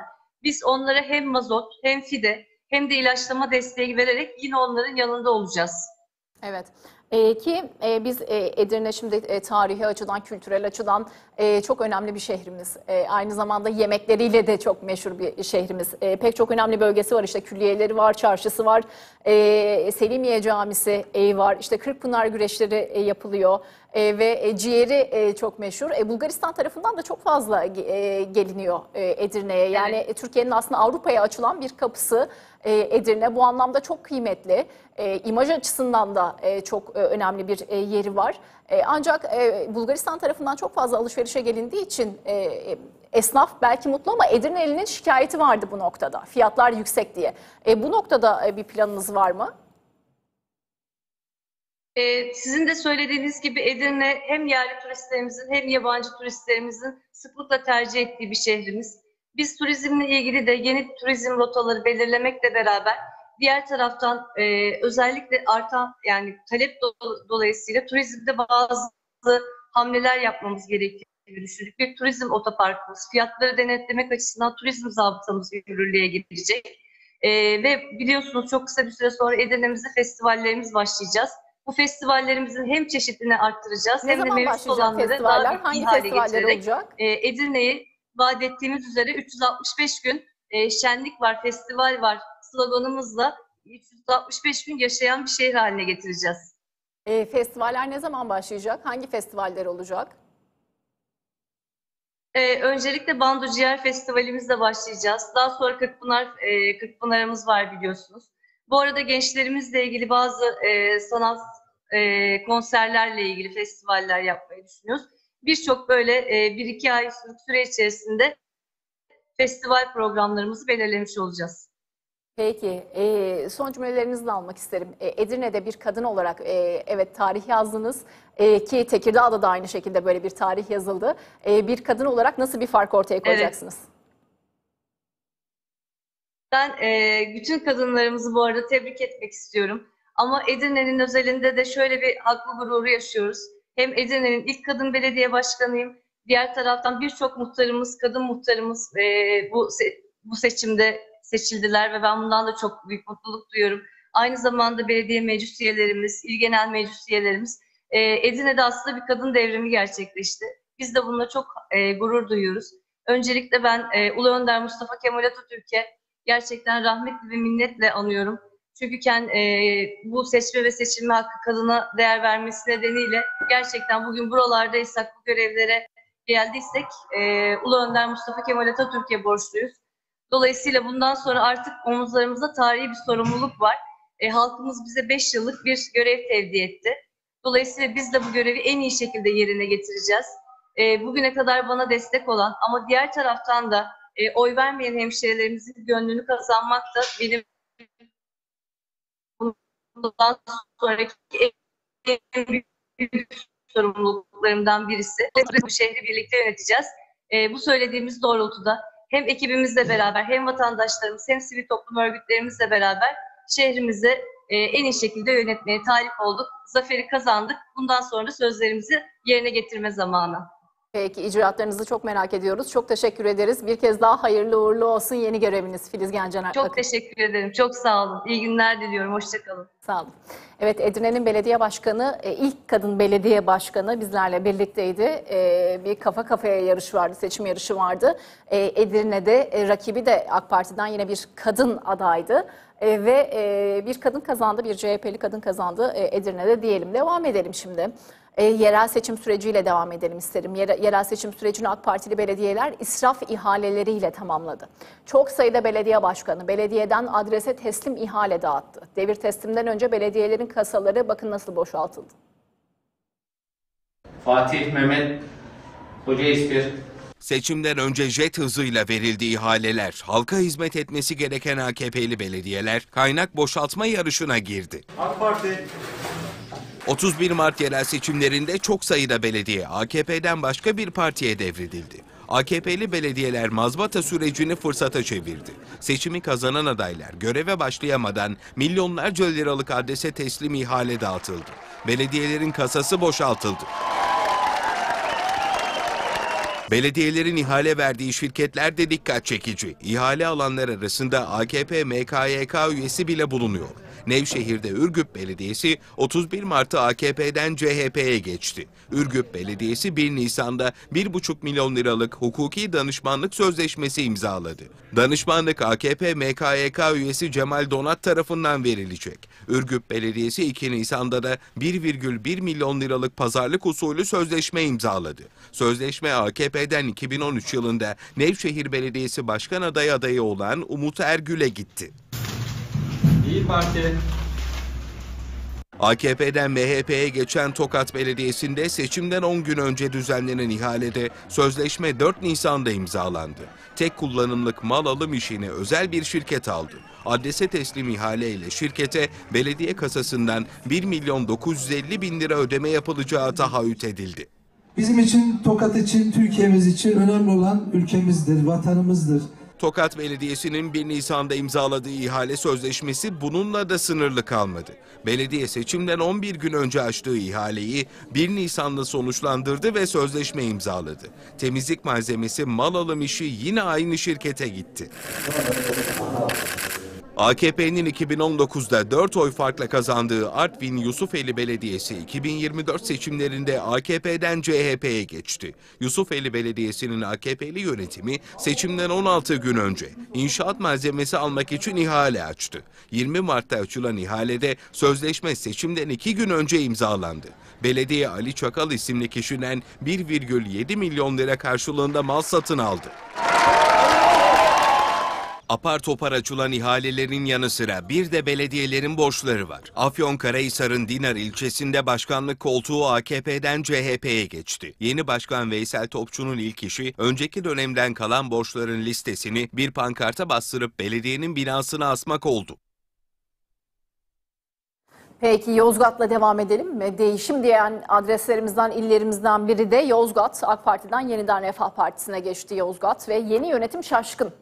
Şaşkınlığın sebebi seç- seçim sonuçları değil elbette. Belediyenin kasasının boş olması. Yozgat Belediye Başkanı Kazım Arslan e, maaş ve borç ödemeleri için kasada tutulan 18 milyon liranın seçime iki gün kala Bozok sporlu futbolculara aktarıldığını söyledi. Evet taraftarla bütünleşiyoruz. Belediyenin birçok ödemesi gereken öncelikli borçları varken yaklaşık 18 milyon lira tutarında bir meblağ usulsüz bir şekilde Yozgat Bozok Spor futbolcularına aktarılmış. İşçinin, memurun maaşı da, borçlar da bir kenara bırakıldı. Yozgat'ın kaynakları usulsüz şekilde futbolculara aktarıldı. Hem de seçime iki gün kala. Bu paranın aktarılma usulü yanlış. Çünkü böyle bir paranın aktarılabilmesi için meclis kararı lazım. Mali İşler Müdürü'nün imzası olması lazım. Mali İşler Müdürü'nün imzası yok. AKP'nin kalesi olarak biliniyordu Yozgat. 31 Mart'ta tablo değişti. Yeniden Refah Partisi Kazım Arslan'la seçim yarışını kazandı. AKP'li Celal Köse'den görevi devralan Arslan daha ilk gününde neye uğradığını şaşırdı. Pazar günü seçim var. Seçimden iki gün önce 18 milyon lira usulsüz bir şekilde Yozgat Bozok Spor futbolcularına ödüllendirme adı altında aktarılmış. 9 futbolcuya aktarılan 18 milyon lira için sadece başkan yardımcısı imza attı. Ne meclis kararı var ne de Mali İşler Müdürü'nün imzası. Üstelik böyle bir ödüllendirme sistemi Türkiye'de yok. Usulsüz şekilde, şekilde aktarılan bu paranın tekrar belediyeye iadesi için ilgili kişilere ve kulübe ihtar yazısı yazıyoruz. Bu paranın iadesini istiyoruz. Yozgat'ın yeni yönetimi ilk adımı attı. 18 milyon lira belediyeye ödenmezse bir sonraki adım savcılığa şikayet olacak. Ahlaki bir davranış olarak görmüyorum. AK Parti seçimlerden ikinci parti olarak çıktı e, ve 47 yıl sonra Cumhuriyet Halk Partisi bir ilke imza attı. Seçimlerden birinci parti olarak e, galip geldi. İktidarda da bir yenilginin muhasebesi var e, ve e, büyük bir hezimet yaşadı iktidar. Seçmen kaybı oldu e, iktidarda. Şimdi iktidarda hem bir muhasebe var hem de yakın dönemde Cumhurbaşkanı Erdoğan'ın yeniden sahaya inmesi bekleniyor.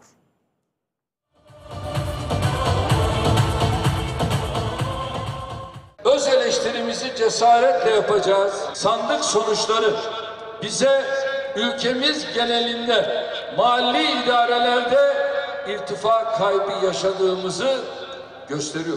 AKP'de mesai kaybedilen seçimin faturasının kime kesileceği. 22 yıl sonra ilk kez ikinci parti konumuna gerileyen iktidar kanadında görevden almalar bekleniyor. Yüzdeki yaklaşık 4-4,5 yıllık bir süre var. Cumhurbaşkanı Erdoğan kurmaylarını topladı. Seçim sonuçlarının muhasebesi için süreç başladı. İktidar partisinde ilk olarak faturanın teşkilata kesilmesi bekleniyor. Sahada beklenen performansın sergilenemediği değerlendirilmesi yapılırken il teşkilatlarında yakın dönemde bir değişiklik planlanıyor. Yanlışlarımızı düzelteceğiz. Kulislere göre AKP'de değişim vitrinde de olacak. Siyasi ve Hukuki İşler Başkanı Hayati Yazıcı, Seçim İşleri Başkanı Ali İhsan Yavuz, Yerel Yönetimler Başkanı Yusuf Ziya Yılmaz'ın görevlerinden affını isteyeceği iddia edilirken partinin kampanya ekibinin de yenilenmesi planlanıyor. Eksiklerimizi muhakkak tamamlayacağız. Gözler bir yandan da ekonomi yönetiminin başındaki Mehmet Şimşek'te. Kulislerde dile getirilen iddialara göre AKP'li yöneticiler muhtemel yenilgiyi gördü. Emekli ve dar gelirli vatandaşlara bir şey vermezsek Ankara ve İstanbul dışında 11-12 ili daha kaybedeceğiz diyerek Erdoğan'a gitti. Cumhurbaşkanı Erdoğan'ın emekliler için Bakan Mehmet Şimşek'e yapabileceğimiz bir şey var mı Mehmet diye sorduğu iddia edilirken yanıtsa olumsuz oldu. Şimşek Erdoğan'a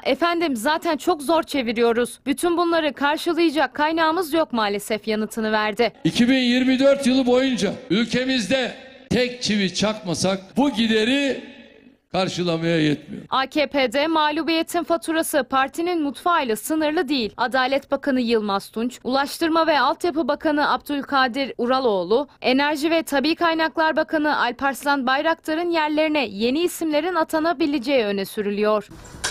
Olağanüstü. Seçim mağlubiyetinin nedenlerini tespit etmek için iktidar birden fazla ekip raporlar için çalışmalara başladı. Cumhurbaşkanı Erdoğan'ın da yurt dışı ziyaretlerinin ardından sahaya yeniden inmesi, yarışı önde bitirdiği kentleri ziyaret etmesi planlanıyor. Cumhurbaşkanımız Recep Tayyip 31 Mart yerel seçimlerinin en büyük kazanımı kadın belediye başkanlarının sayısının artması oldu. Kuşkusuz toplam e, 11 kentte kadınlar büyükşehir, il ve ilçe belediyelerinde hizmet verecek. Yani e, 75 belediye kadınlar tarafından yönetilecek. Kadın başkanlar mazbatalarını aldılar ve kollarını sıvadılar.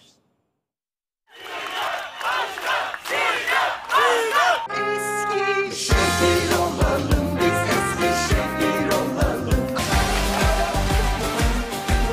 31 Mart'ta kadın belediye başkanı sayısı iki kattan fazla arttı. 2019'da sadece 4 şehirdelerdi. Artık 5 büyük şehir, 6 kent ve 16 ilçe belediyesi kadınlar tarafından yönetilecek. İlçe ve beldelerde toplam 75 belediyede kadınlar söz sahibi olacak.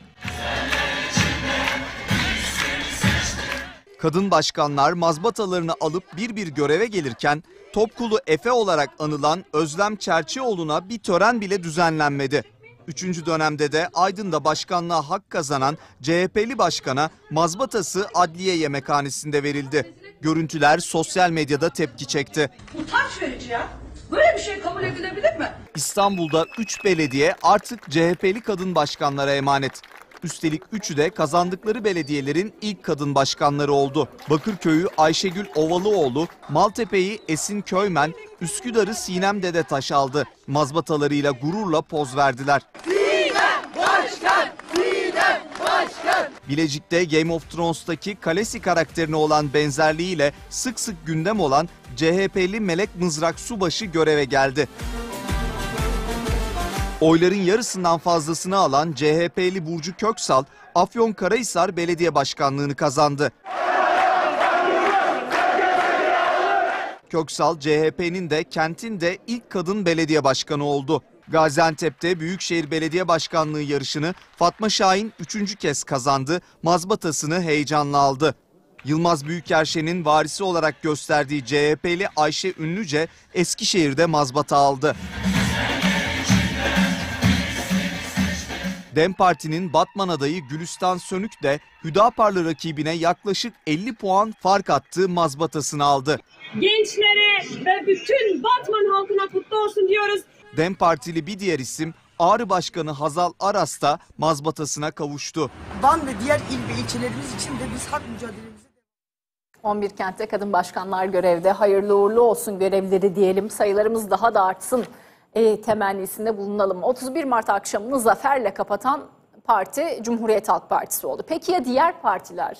Onlardan biri Gelecek Partisi. Genel Başkan Ahmet Davutoğlu radikal bir kararla söylem değişikliğine gideceklerini e, açıkladı. E, Muharrem İnce mesela Memleket Partisi. Muharrem İnce'nin partisi memlekette ise istifalar vardı. Şimdi sıra sizde. Bizden kalan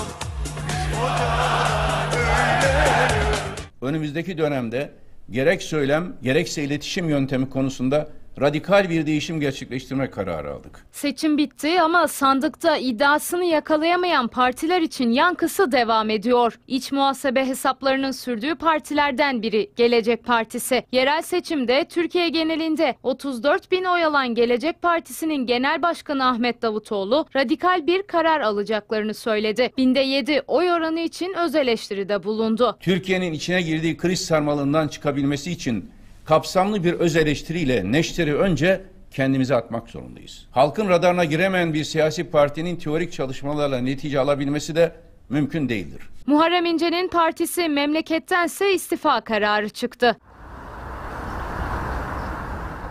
Aldığım istifa kararı tamamen kişiseldir. İstifam sonrasında partide ani bir değişim ve dönüşüm kararı verilmiştir. Parti sözcüsü İpek Özkal hem görevlerinden hem de partisinden istifa etti. Genel Başkan Muharrem İnce de sosyal medya hesabından yürümeye devam notuyla uzun bir paylaşımda bulundu. Sandıktaki erimeyi kabul ettiğince partide küçülme sinyallerini dijitalleşme mesajıyla verdi. Yürüdüğümüz yoldan vazgeçecek değiliz. Millete küsecek, kızacak değiliz. Sözcü TV'nin edindiği bilgiye göre yüksek kira nedeniyle Memleket Partisi Genel Merkez binasını boşaltıp bir apartman dairesine geçecek. Ordu ile devam edelim şimdi de. Ordu'da sandıktan AK Parti çıktı ama orada da itiraz var. İtirazı eden kim? İyi Parti. İyi Parti'nin bir itirazı var. Seçim gecesinde kaydedilen görüntü ve tutanakları kanıt olarak sundu İyi Parti. Oylarımız çalındı diyor. Gece olmadan iftar saatiyle birlikte sandık başkanı çuvalı omuzlamış evine gitmiş kamera görüntülü. Seçim gecesi çuvalı omuzlayan kişi güvenlik kamerasına takıldı, ordu karıştı. İyi Parti görüntüyü kanıt olarak sundu, oylarımız çalındı dedi. Partililer ilçelerde, il genelinde seçim kurullarına koştular. Tutanaklarla YSK'ya da başvurdular. İlçe seçim kurullarına itiraz ettik. Sandıklar yani çuvalların bir bölümü açıldı. Sandıklar ve çuvallar açılmışsa o oyların tamamını sayma mecburiyeti var. İddialar çok, oy çalındı, oylar sayılmadı, tutanaklara yazılmadı, kaçırıldı diyor İyi Partili Başkan adayı Enver Yılmaz. Tam bir hukuk garabetinin olduğu, özellikle 5 ilçede sandıkların erken açılmak suretiyle ve sandık başkanı dışında hiçbir personelinin sandık kurulu üyelerinin kalmaması suretiyle resmen sandıkta bir gasp oluşturuldu. Bu gaspa karşı biz delillerimizle ve hukuki sürecimizi mahkemelere ve YSK'ya seçim kurullarımıza bildirdik. Ordu'da seçim yarışı kıran kırana geçti. AKP'nin adayı Hilmi Güler 182.733 kişinin oyunu aldı.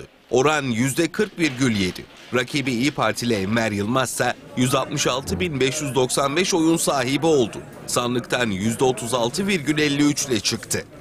98.801 iptal oy var değerli arkadaşlar. İl genelindeki geçersiz oy oranı Türkiye ortalamasının 3 katı. Dolayısıyla minareyi çalan kılıfına uydurmuş. İyi Parti'nin avukat ordusu seçim gecesinden bu yana fazla mesaide. Tutanaklar tek tek inceleniyor. Var burada da Biz yapıyoruz. Ordunun seçiminde itiraz nasıl sonuçlanacak? Cevabı YSK verecek. Seçimler kimini üzdü, kimini ise sevindirdi. Kırşehir'in Akpınar ilçesine bağlı Aşağı Homurlu köyüne götüreceğiz sizleri. Seçimi kaybeden bir muhtar adayı var. Aydın Battal. Ee, Kendisini desteklemeyen köylülere sitem etti. Sitem ettikleri arasında abisi de vardı. Ee, Hem maddi durumu yüzünden hem de şairlik sevdası yüzünden destek görmediğini söyledi. Üzgündü. Arkadaşlarımız mikrofon uzattı. Gelin bir dinleyelim. Kendisine kulak verelim. Dermanın kalmasın bir su almaya, bir daha gülmesin hiç yüzün senin. Üç aday vardı, köyde 300 de oy vardı. Bana 29 oy çıktı, kaybettim. Aydın Battal Kırşehir'in Akpınar ilçesine bağlı Aşağı Homurlu'da muhtar adayı oldu. Ama ona göre şiir tutkusu ve maddi durumu yüzünden beklediği desteği alamadı. Sesime başladığımda sırtıma üç tane kusur yazıldı. Biri garibanlık, biri fakirlik, biri de niye olduğunu bilmediğim bir şekilde şiir yazıp işte sosyal medyada paylaşıp bölüşmem oldu. İsyanını çektiği bir videoda dile getirdi. Belki seçimi kazanamadı ama gönülleri fethetti. Sosyal medyada binlerce beğeni aldı. Başkaları başka şey yazıyor, şifa oluyor. Aydın şiir yazınca köçeklik yaptı, aptallık yaptı, zoytarılık yaptı oluyor. Sözcü televizyonunun ulaştığı Aydın Battal'ın hikayesi yürek burkan cinsten. Böyle bir maceranın içine girdim. Başta avradımı, uşaklarımı, Musa abimin oğlu Bektaş'ı, yengemi, onların uşaklarını mahcup ettim. Daha önce inşaat işçiliği ve hayvancılık yapan muhtar adayı ayağından olduğu ameliyat sonrası çalışamadı. Geçim sıkıntısı çeken Battal köyüne dönüp muhtar adayı oldu. Ancak abisinden bile beklediği desteği göremedi. Duvar diplerinde yolları gözle, sürüm sürüm sürün. Boş zamanlarında şiir yazdığı için diğer adaylar tarafından hedef gösterildiğini söyleyen Aydın Battal seçimi kaybetmesinin ardından isyanını dizelerine taşıdı. Yine de diğer adaylara küs olmadığını söylüyor. Beni kim istememiş, niye olmuş, nasıl olmuş bunu da sizlere bir şiir ile anlatayım. Çekil dedi bu yarışta kimin var, kime içirecek çayın suyun var. Aklı kesse beni köyden de kuvar, akrabam, dostlarım istemedi ilk önce beni. Bir gönül kırıklığı var mi? Ama bir sonraki yerel seçimlerde bir kez daha şansını deneyebilir belki diyelim. Şimdi birazcık ekonomi diyoruz. Ee, Merkez Bankası ile devam edelim. Resmi gazetede yayımlanan kararla kredi kartı işlemlerinde uygulanacak aylık azami e, aktif faiz yükseltildi. E, faiz %4,25'e yükseltildi. Resmi gazetede yayımlanan kararla e, faiz oranları hakkında tebliğde değişikliğe gidildi. Kredi kartı işlemlerinde uygulanacak aylık e, aktif faiz oranı %3,66'dan %4,25'e çıkarıldı. Nakit veya kullanım işlemleri hariç tutuldu. Ayrıca kredi kartında e, aylık aktif faiz %4,25'e çıktı.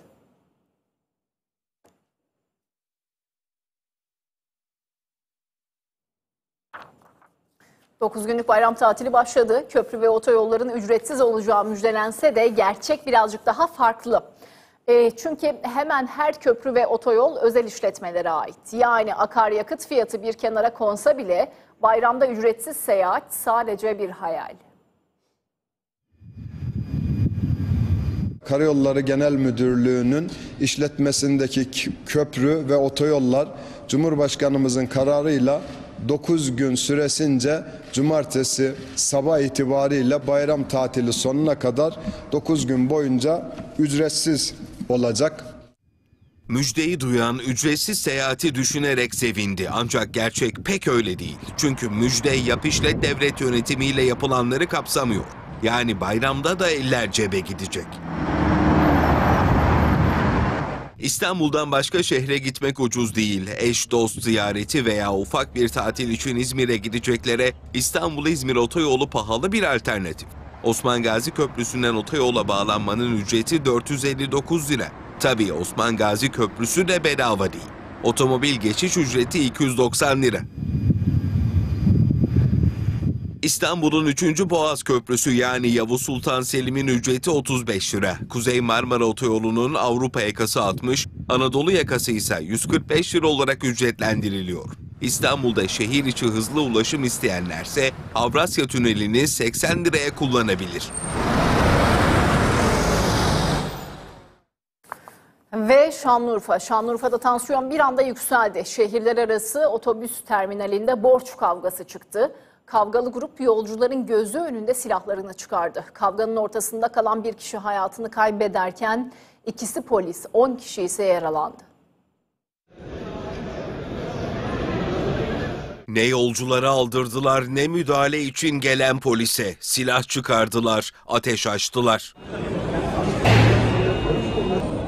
Şanlıurfa'nın şehirler arası otobüs terminalinde borç kavgası çıktı. Alacak meselesi yüzünden kavgalı iki grup bir otobüs firmasının yazhanesinde tartışmaya başladı. Kısa sürede kavgaya döndü. Devreye sopa, döner bıçağı, silah girdi. Yolcuların da bulunduğu terminalden silah sesleri yükseldi. Saldırganlar rastgele çevreye ateş etti. Otogar kalabalıktı. Yolcular da kurşunların hedefi oldu. Bir kişi hayatını kaybetti. Kavgaya müdahale eden iki polisle birlikte 10 kişi yaralandı. Yaralılar hemen hastaneye kaldırıldı. Covid-19 döneminde birçok kişinin İstanbul Büyükşehir Belediyesi'ne bağışladığı 6,2 milyon liraya el konuldu. Anayasa Mahkemesi toplanan paraların kamuya geçirilmesini anayasaya aykırı buldu ve kararı iptal etti. Pandemide İBB'ye bağışlanan paralara el konulduğu bağış polemiğine yüksek mahkeme son noktayı koydu. Tüm Türkiye Covid-19 kriziyle çalkalanırken İstanbul ve Ankara Büyükşehir Belediyeleri başta olmak üzere çok sayıda belediye yardım kampanyası yaptı. İktidarın maske dağıtmakta bile zorlandığı günlerde başlatılan kampanyaya geniş katılım sağlandı. Ancak hem Cumhurbaşkanı Erdoğan hem de İçişleri Bakanlığı karşı çıktı. Erdoğan, izin olmaksızın kampanyalar açmak devlet içinde devlet olmak demektir dedi. İBB'ye bağışlanan 6,2 milyon liraya Şubat 2022'de el konuldu. Anayasa Mahkemesi toplanan yardım paralarına el konularak bunların mülkiyetinin kamuya geçirilmesini düzenleyen hükmü iptal etti. Toplanan paraların öncelikle eski sahiplerine iadesi seçeneği göz önünde bulundurulmalıdır dedi. Mümkün değilse son çare kamuya geçirilebilir kanaatini verdi. İBB 1. Hukuk Müşaviri Eren Sönmez sosyal medyadan İstanbullunun hakkı İstanbulluya verilsin, hukuk dışı uygulamalar son bulsun çağrısında bulundu. İptal hükümleri 9 ay sonra yürürlüğe girecek. Diyanet'ten yine e, tartışılan bir açıklama geldi. Din İşleri Yüksek Kurulu üyesi İdris Bozkurt dedi ki SMA hastası çocuklar için fitre ve zekat verilemez. Gerekçeli kararı bakın neydi? Bu şartlarda olan bir kişiye ne yapılamaz? Zekat verilmez, fitre verilmez. Zekat, fitre ve fidye özel bir ibadet dedi. SMA'lı çocuklara verilmemesi gerektiğini savundu. Yurt dışında tedavi olabilmesi için Türkiye'de yaklaşık 3000 SMA'lı hasta çocuk bulunuyor. Türkiye'de tam bir tedavi yok. Yurt dışında tedavi görmeleri gerekiyor. Tedavi masrafı ise milyonlarca doları buluyor. Aileler bağışlarla tedavi masraflarını karşılamaya çalışıyor. SMA hastalıklarla mücadele eden insanlar mutlaka büyük e, efendim meblağlar ödeyecekler. Bunu bir şekilde efendim karşılamak için yardımcı olmamak mı lazım? E, olunabilir. Ama bunu zek- zekatımızla değil, fitremizle, fidyemizle değil. Din İşleri Yüksek Kurulu üyesi İdris Bozkurt Diyanet Televizyonu'nda katıldığı programda SMA hastaları için zekat fitre verilebilir mi sorusunu yanıtladı. SMA'lı hasta çocuklar için fitre, zekat ve fidye verilemeyeceğini savundu. Zekat, fitre, fidye özel bir ibadettir. Ödeneceği yerler ve ödeme biçimi, sarf yerleri kısaca nedir? Özeldir. Buralar için ne yapılamaz? Zekat, fitre, fidye ödenemez. Bozkurt, SMA hastası çocuklu ailelere yapılacak yardımlarda ibadetin şartlarının oluşmadığını savundu. Fitre, zekat ve fidye ödenmemesini istedi. Özellikle altını çizmek istiyorum. Çünkü e, o, o ibadetin geçerlilik için şartları burada tam manasıyla oluşmuyor. O halde ne yapsın? SMA hastalarımıza zekat, fitre, fidye dışında ne yapılsın? Bağışlar yapılabilir, gönüllü bağışlar. Fakat zekat, fitre ve fidye ödenmesin lütfen. Bayram tatili başladı. Bugün itibariyle 9 günlük bir bayram tatili var. E, Otogarlarda da haliyle bir yoğunluk var. Ancak tatil heyecanından çok yolcuların gündeminde başka bir şey var. Ne var? Fiyatlar var. E, otobüs bilet fiyatları var. Çünkü e, neredeyse uçak bileti kadar otobüs fiyatları da yüksek. ...600'e geldim şimdi 970'e gidiyor. Yok ki gidiyoruz. Bayağı bir maliyetli ama e, değişiklik olsun. Çocuklar çok istiyor. Bayram tatili 9 gün olunca İstanbul'du şimdiden otogarın yolunu tuttu. Gündemde ise tatil heyecanından çok bilet fiyatları vardı. Ben Deniz'den dün 500 milyona geldim. Bugün Deniz'e döneceğim. Bütün her yeri gezdim. Hepsi kimi diyor 1200, kimi diyor 1300, kimi diyor 1000, kimi diyor 1000, 1500. Dün 500'e geldiniz, bugün 1500 oldu bir gün içerisinde. Bir gün içerisinde 1500'e kadar bile çıkmış. Bu nedir? Bu bir fırsatçılıktır. Bilet fiyatları 500 liradan başlıyor, mesafesine göre 1500 liraya kadar çıkıyor. Otobüs firmaları ise artan fiyatlar için mazot zamlarını işaret ediyor. 60 bin lira mal olur. 1200 litre mazot yakıyoruz. Onun hesabını siz yap. Bir de bunun otovarları var, şoför masrafı var. Artan bilet fiyatlarına rağmen İzmir otogarında da otobüslerin biri geldi, diğeri gitti. Bayram nedeniyle İzmir otogarında da epey yoğunluk var. Bilet fiyatları pek çok kişiye fazla gelse de yine de uçak biletlerine göre daha uygun olduğu için tercih ediliyor. Malatya'ya gidiyorum bayram ziyareti için. Ne kadar bilet ödediniz Malatya için? 1200. 1200 TL. Biletler şu an için çok pahalı ve bulamıyoruz. Bulmakta çok zorlandık 3 kişi olduğumuz için. 3 çocuk için 2250 lira mı ödedik evet. 2250 lira ödedik yani kişi başı 750 lira falan. Bu bayram günlerde, bayram arifesi günlerinde bir kalabalık olduğu için her iki taraftan dolu geldiği zaman araba kazanır. Ama bir taraf dolu bir taraf boşsa yine araba kazanır. Çünkü 50 bin lira gidiş geliş bu arabanın masrafı var. Şimdi kısa bir ara var. Sonrasında son saat dilimiyle biz burada olacağız. Sizleri de bekleriz.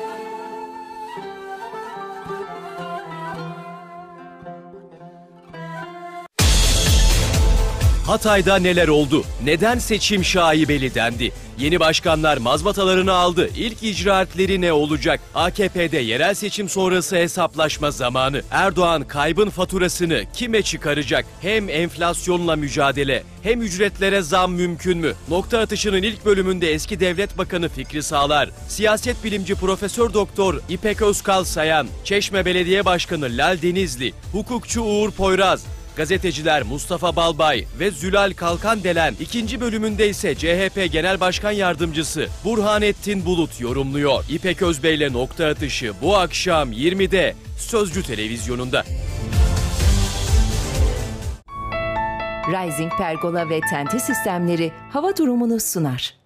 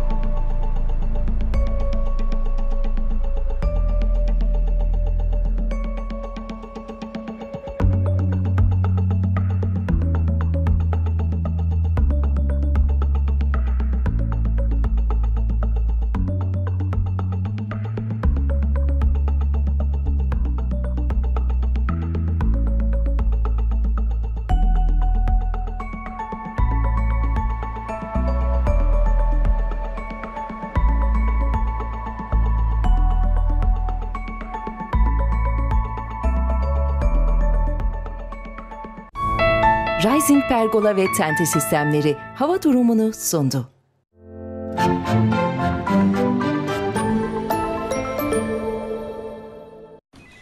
Cenk Bey, ben global bir şirketten bir iş teklifi aldım. 150'den fazla ülkedeler. Tam 45 tane fabrikaları var. Düşünsene 55 binden fazla kişi çalışıyor. Şimdi bir de ben. 31 ARGE merkezi. Son teknoloji ürünler. Sürdürülebilirlikte sektöründe dünya lideri. İngiltere'den Çin'e, Almanya'dan Amerika'ya resmen her yerdeler. Böyle bir teklif gelince heyecanlandım ben de tabii. Yani yurt dışına yabancı bir şirkete gidiyorsun ha? Yo.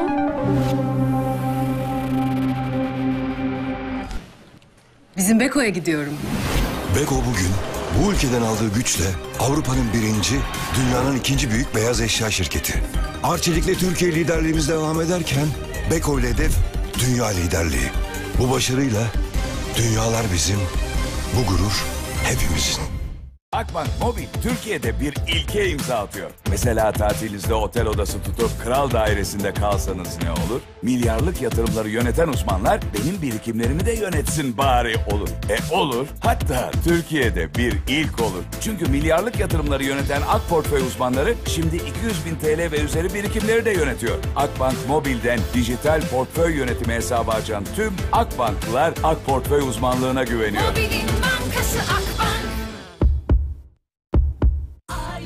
olduğu için ucuz ucuz olduğu için Büyük A101'de patatesin kilosu 13 lira 90 kuruş, tabak mantarına dedi 30 lira 95 kuruş.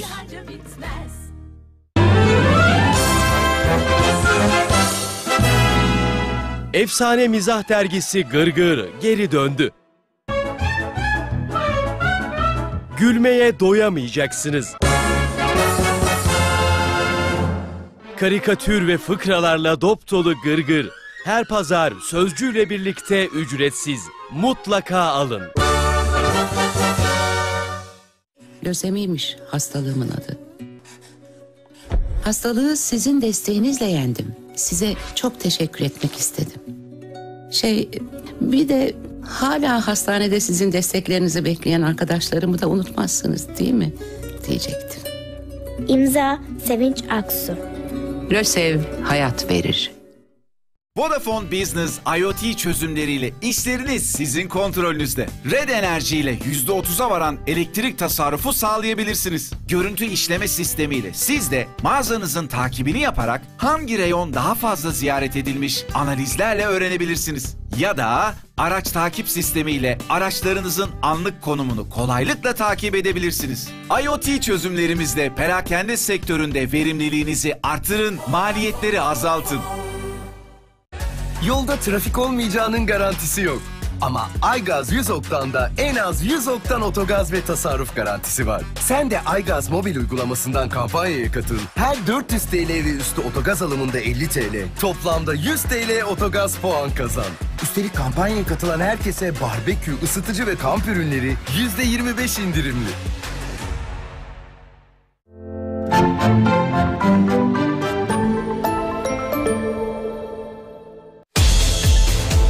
CHP'ye 47 yıl sonra birincilik nasıl geldi? Bundan sonra kaybettiği illerde izleyeceği yol haritası ne olacak? Büyük bir oy kaybı yaşayan İyi Parti'de fatura kime kesilecek? Kurultayında neler yaşanacak? Siyaset bundan sonra nasıl şekillenecek? Yeni ittifaklar kurulacak mı? Sözcü Medya Grubu Ankara temsilcisi Saygı Öztürk soruyor. CHP Genel Başkan Yardımcısı Ensar Aytekin ve 24-27. dönem milletvekili Doktor Aytun Çıray Sisler Bulvarı'nda anlatıyor. Sisler Bulvarı bu akşam saat 23'te Sözcü Televizyonu'nda.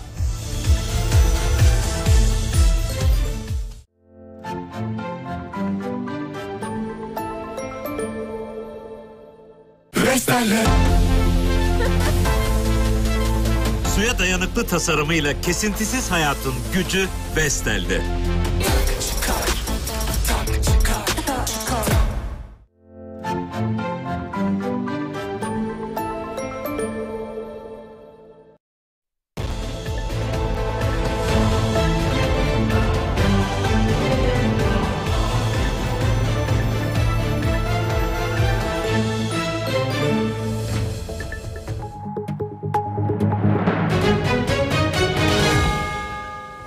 Sözcü ekranlarından bir kez daha merhaba. Ben İrem Sansak. Son saat dilimindeyiz. Artık saatlerimiz 13.58'i gösteriyor ve son saat diliminde de sıcak gelişmelerle sizlerleyiz. Siyasetle bir başlayalım. Sonra ekonomi konuşalım. Yeni gelen görüntüleri konuşalım ve e, spor tabii ki değil mi? Yarın gözler e, Süper Kupa e, maçında acaba neler olacak, neler yaşanacak, olası senaryolar neler? Ercan Taner bizlerle olacak ve sorularımız var. Sizin de sorularınız varsa YouTube canlı yayına devam ediyor. YouTube canlı yayınından isterseniz, isterseniz diğer sosyal mecralardan lütfen sorularınızı benimle paylaşın, ekibimizle paylaşın e, ve yöneltelim e, biz de Ercan Taner'e o soruları.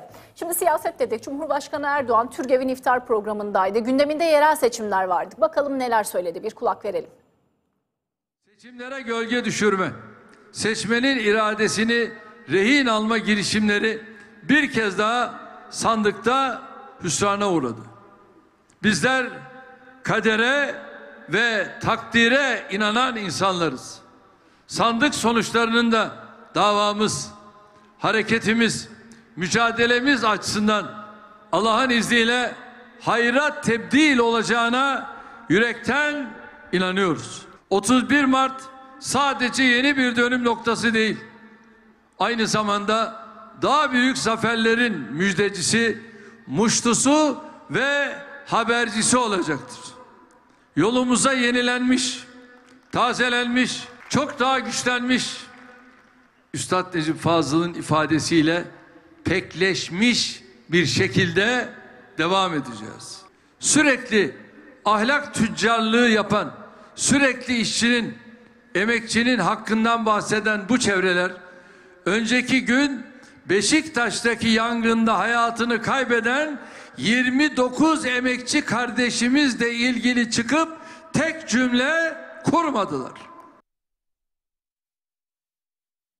Peki Özgür Özel CHP cephesiyle devam edelim. CHP Genel Başkanı Özgür Özel yerel seçimin ardından e, Sözcü gazetesine konuştu. Bugün Sözcü gazetesinde de Özgür Özel'in açıklamaları manşette. Gelin hep birlikte şöyle bir bakalım o manşette neler var. Mesela de 47 yıl sonra CHP'yi birinci yapan e, Özgür Özel halka söz verdi başlığıyla paylaşmış e, gazete haberi. E, ve e, zafer sarhoşluğuna kapılmayacağız diyor. Değişim 31 Mart seçiminde sandıklara yansıdı. Zafer sarhoşluğu yok. Rehavet yok. Şimdi icraat zamanı dedi. Özgür Özel bugün Sözcü gazetesi de haberi manşetine taşıdı. Gelin hep birlikte o açıklamalarına bir kulak verelim.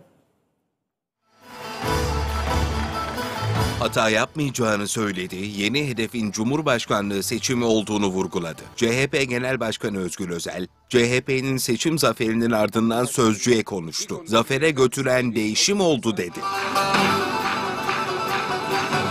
Cumhuriyet Halk Partisi yerel seçimlerde oyların %37,77'sini aldı. Yıllar sonra sandıktan birinci parti olarak çıktı. CHP Genel Başkanı Özgür Özel'e göre başarının sırrı değişim. Değişim sandıklara yansıdı. Rehavet yok, zafer sarhoşluğu yok. Seçimden birinci parti olarak çıkmamızın ilk haftası değil. Bir sonraki seçim hazırlığının ilk haftası olarak görüyoruz. Bir dahaki sefere Cumhurbaşkanlığını kazanmış bir parti olacağız. Hata yapmayacağız. CHP Genel Başkanı Özgür Özel'e göre AKP'nin kaybetme sebebi devletle milleti yarışa sokmak. CHP'yi başarıya götürense seçmeni anlamak. Seçmenin mesajını doğru okuduk. Partimizi 1977 seçimlerinden bu yana ilk kez birinci parti yaptık. Belediyeleri kazandık. Erdoğan'ın hatası ise devlet ve milleti yarışa sokmak oldu. Genel merkezle başkanların arası kötü gibi göstermek isteyecekler. Artık kazanmayı öğrendik. Kibirlenmeyeceğiz. Seçimler geride kaldı ama saha çalışması bitmedi. CHP Genel Başkanı bayramın ardından yeniden sahaya çıkacak. Teşekkür ziyareti yapacak. Peki İyi Parti ile devam edelim şimdi de. Ee, İyi Parti de e, bir hezimetle karşılaşan partilerden biriydi. 31 Mart yerel seçimlerinde seçimde beklediği başarıyı elde edemedi. Olağanüstü kurultay kararı aldı ve kurultay tarihi de 27 Nisan olarak belirlendi. Yeniden aday olup olmayacağı henüz belli değil Meral Akşener'in. Ee, kazandığı tek il belediye neresi? Nevşehir. Nevşehir'e gitti. Burada geçmişte destek verdiği isimleri hırsız olarak niteledi. İyi Parti'de genel başkanlık yarışı içinde öne çıkan bazı isimler var. Bakalım o isimler kimler? İyi Parti'de son durum nedir? Ee, Meral Akşener aday olacak mı olmayacak mı? Karşısında başka rakipler var mı? Hep birlikte izleyelim. Ben çok üzgünüm. Yerel seçimlerde 6. parti konumuna geriledi İyi Parti. Meral Akşener kazanılan tek il belediyesi olan Nevşehir'e gitti. Kampanya boyunca Ekrem İmamoğlu ve Mansur Yavaş'ı hedef alan Akşener burada da isim vermeden çarpıcı ifadeler kullandı. Daha önce destek verdikleri isimleri hırsız olarak niteledi. Hepimiz dürüstlük nutukları atıp, dürüst olduğuna kefalet koyup, seçilmesine vesile olduğumuz kişilerin daha sonra kocaman birer hırsız olduğunu anladığımızda çektiğimiz acıları anlatmam mümkün değil. İyi Parti 27 Nisan'da olağanüstü kurultaya gidecek. Akşener yeniden aday olacak mı olmayacak mı sorusuysa henüz yanıt bulmadı. Bu işin sonunda ben başaracağımıza inanıyorum. Bunun sonucunda bu başarı hepimizindir. Başarısızlık olduğu takdirde de benimdir. O sorumluluğu yerine getireceğim. Ona göre çalışacaksınız. Eğer bedel ödememi istemiyorsanız çalışacaksınız. Kampanya döneminde bu sözlerle seslendi Akşener partililerine. Gazeteciler aday olacak mısınız diye sordu, yanıtsız bıraktı. Görüşmek üzere. İftara gidiyorum. İyi Parti Genel Başkanlığı için adaylığa hazırlanan isimlerden biri de Tolga Akalın. İyi Parti'nin lider partisi olmadığını, siyasal hareket olduğunu söyledi. Kurultayın tarihini eleştirdi. Seçimlere 4 yıl 1 ay gibi bir süre varken kongre takviminin 22 güne sıkıştırılması hususunu kamuoyunun ve siyasi hareketimizin takdirine sunuyorum. Kamuoyunun bu kadar erken bir tarihte kongre yapılmasını, alternatif adaylar çıkmasından ve bir değişim yaşanmasından duyulan endişeye bağlayacağı açıktır. Tüm dava arkadaşlarımızı büyük yürüyüşümüze katılmaya ve mücadelemize destek vermeye davet ediyorum. Seçim akşamı Akşener'i istifaya davet ederek görevlerinden istifa eden Bilge Yılmaz eleştirilerini sürdürdü. İyi Parti'nin mevcut lideri ve yönetim anlayışıyla geleceğe dair milletimize ve özellikle gençlerimize verdiği hiçbir umut yoktur. Bu şekilde devam edilmesi halinde İyi Parti bir sonraki dönem meclise bile giremeyecektir. Buyurun lütfen. Peki gözler yarında. Yarın ne var? Trabzonspor Fenerbahçe karşılaşması var. E, ve e, maçta çıkan e, olaylarla ilgili tutuklanan iki kişi e, tahliye edildi. Tutuklu kimse kalmadı. Federasyon Trabzonspor'un cezasında indirime giderken sarı lacivertli futbolculara verilen cezada bir değişiklik olmadı. Son durumu izleyelim. E, düzeltiyorum bu arada yarın Süper Kupa var. Haberimizi izleyelim sonrasında Ercan Taner bizlerle olacak. Trabzon'daki olaylı maçla ilgili tutuklu kimse kalmadı. Federasyondan da cezalarla ilgili yeni karar geldi. Süper Lig'in 30. haftasındaki Trabzonspor Fenerbahçe maçında sahaya inen ve galibiyet sevinci yaşayan Fenerbahçeli futbolculara saldıran gruptan 13 kişi gözaltına alındı. 5'i tutuklandı, 3'ü daha önce serbest kalırken son 2 kişi hakkında da tahliye kararı çıktı. Eyvallah. Trabzonsporlu taraftarlar cezaevinden çıkar çıkmaz Fenerbahçeli futbolculardan şikayetçi oldu.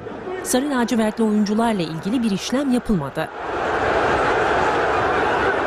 Maçtan sonra PFDK'ya sevk edilen futbolculara ve teknik ekibe verilen cezalarla ilgili de TFF Tahkim Kurulu kararını açıkladı. Tahkim Kurulu Trabzonspor'a uygulanan 6 maçlık seyircisiz oynama cezasını 4 maça indirdi. Trabzonspor'a verilen 3 milyon lira tutarındaki para cezası da 448 bin liraya düşürüldü. TFF Tahkim Kurulu Fenerbahçe takımının oyuncuları Jadon Osterwolde ve İrfancan Eğribayat'a verilen bir maçlık men cezasında ise bir değişiklik yapmadı.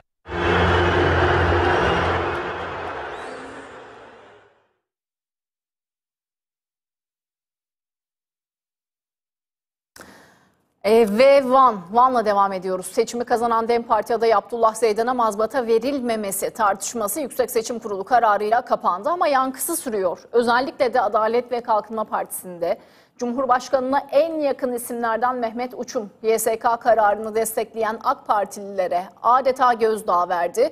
Yeni günde Uçum'a tepkiler de devam etti. AK Parti'de Uçum çatlağı mı var acaba e, sorusu gibi pek çok soru gündemde. İşte o soruların yanıtları haberimizde.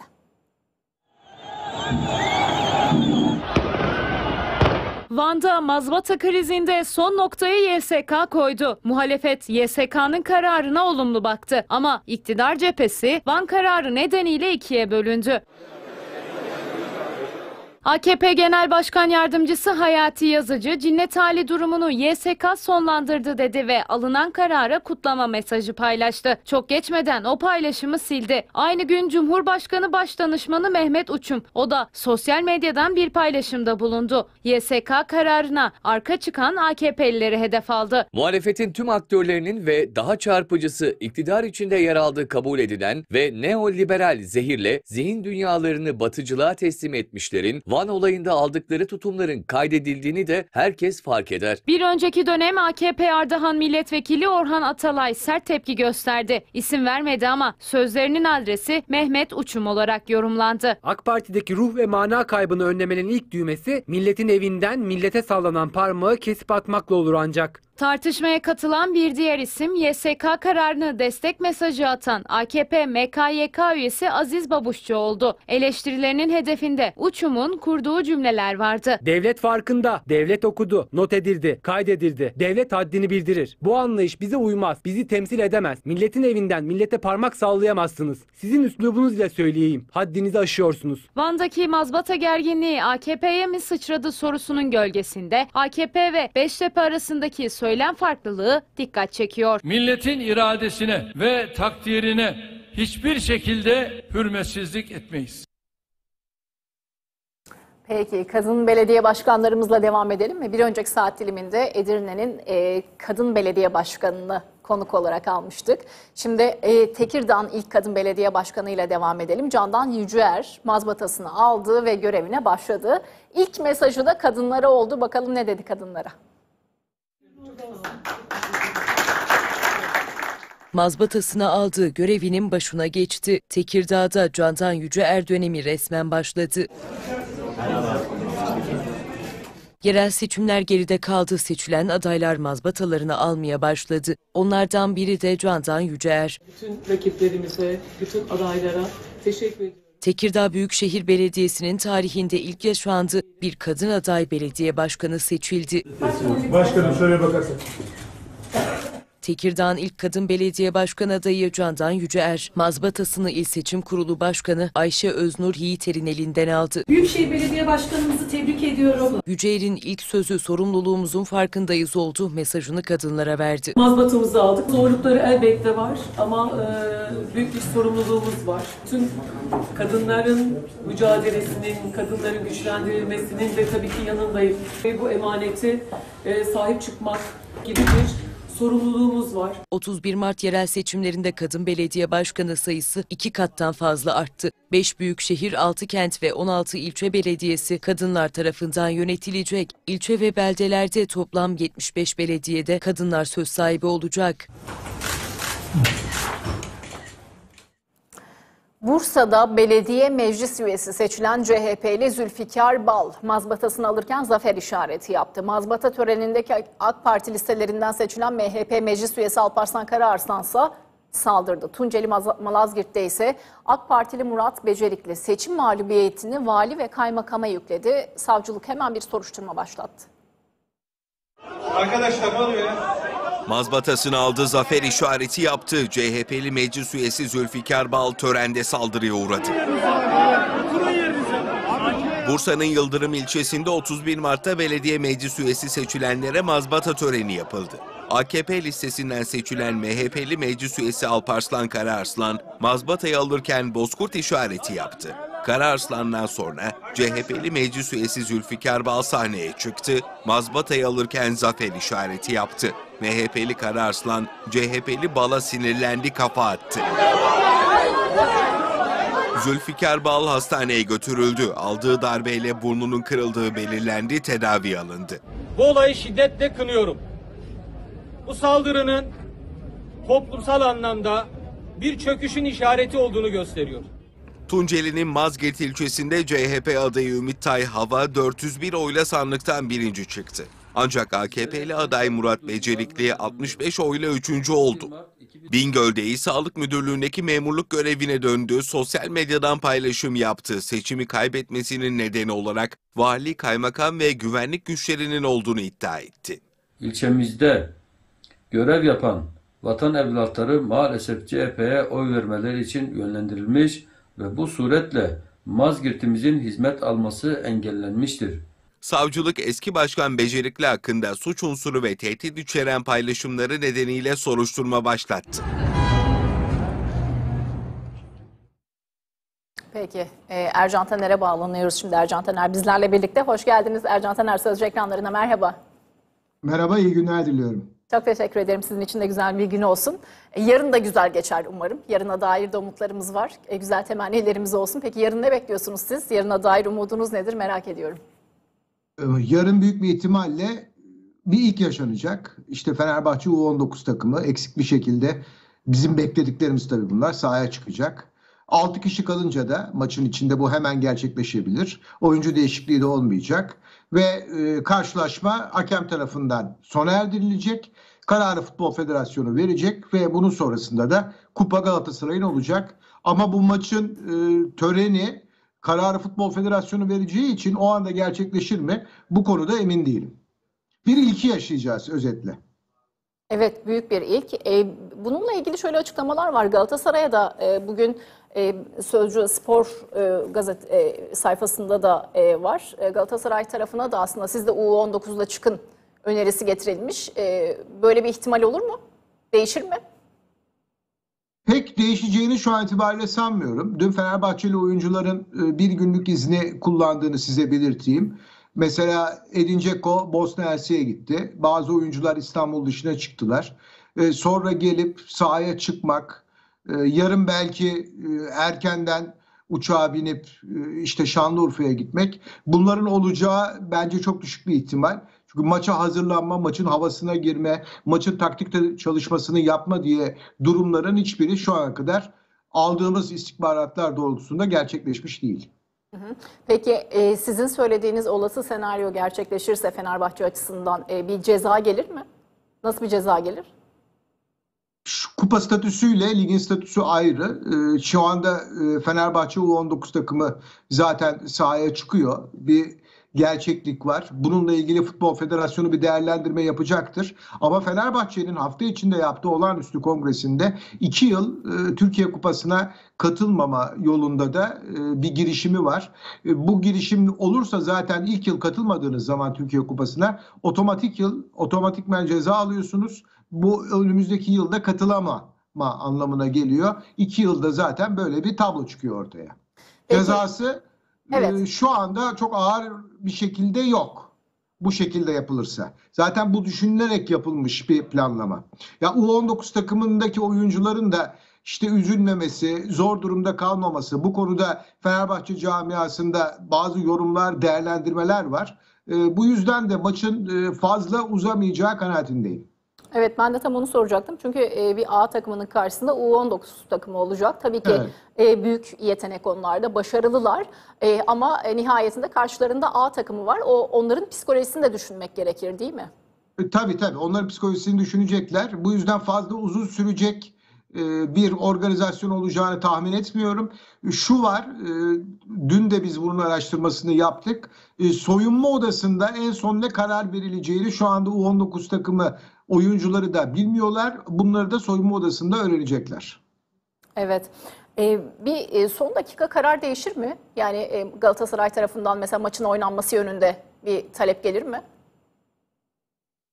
O talep ama eksik kalan e, bir takım 6 kişi eksik kaldı mı sahaya 9 kişi çıktı mı e, zaten o maç bitmek zorunda kurala göre. Yani siz istediğiniz kadar oynamak isteyin. Hakem bir düdüğünü çalar ve maçı bitirir. Evet. Ee, Tatil demiyorum bakın maçı bitiriyor. Sizin böyle bir duyumunuz var mı? Aldınız mı böyle bir duyum? Ben almadım. Ee, çoğu kişi de U19 takımı oyuncuları bile ne olduğunu bilmiyor. Ee, bence 2-3 kişi biliyor şu anda. Bu e, organizasyonun e, planlayıcıları. Onlar da takım soyunma odasında ne yapacağını açıklayacaklar. Evet. Ee, sizin bu hafta bir yazınız vardı. Dediniz ki şampiyonluk mücadelesi artık uzun ve ince yola girdi. Bu yolda sakin kalmak, gol atmak gibidir. Anlamına geliyor. Doğru. Demiştiniz. Şamp sizce evet, sakin şamp kalınacak mı? Sakin kalınarak mı gol atılacak? Nasıl olacak sizce? Şöyle söyleyeyim. E, futbolda özellikle bizim ülkemizde maçlar saha dışında da oynanıyor.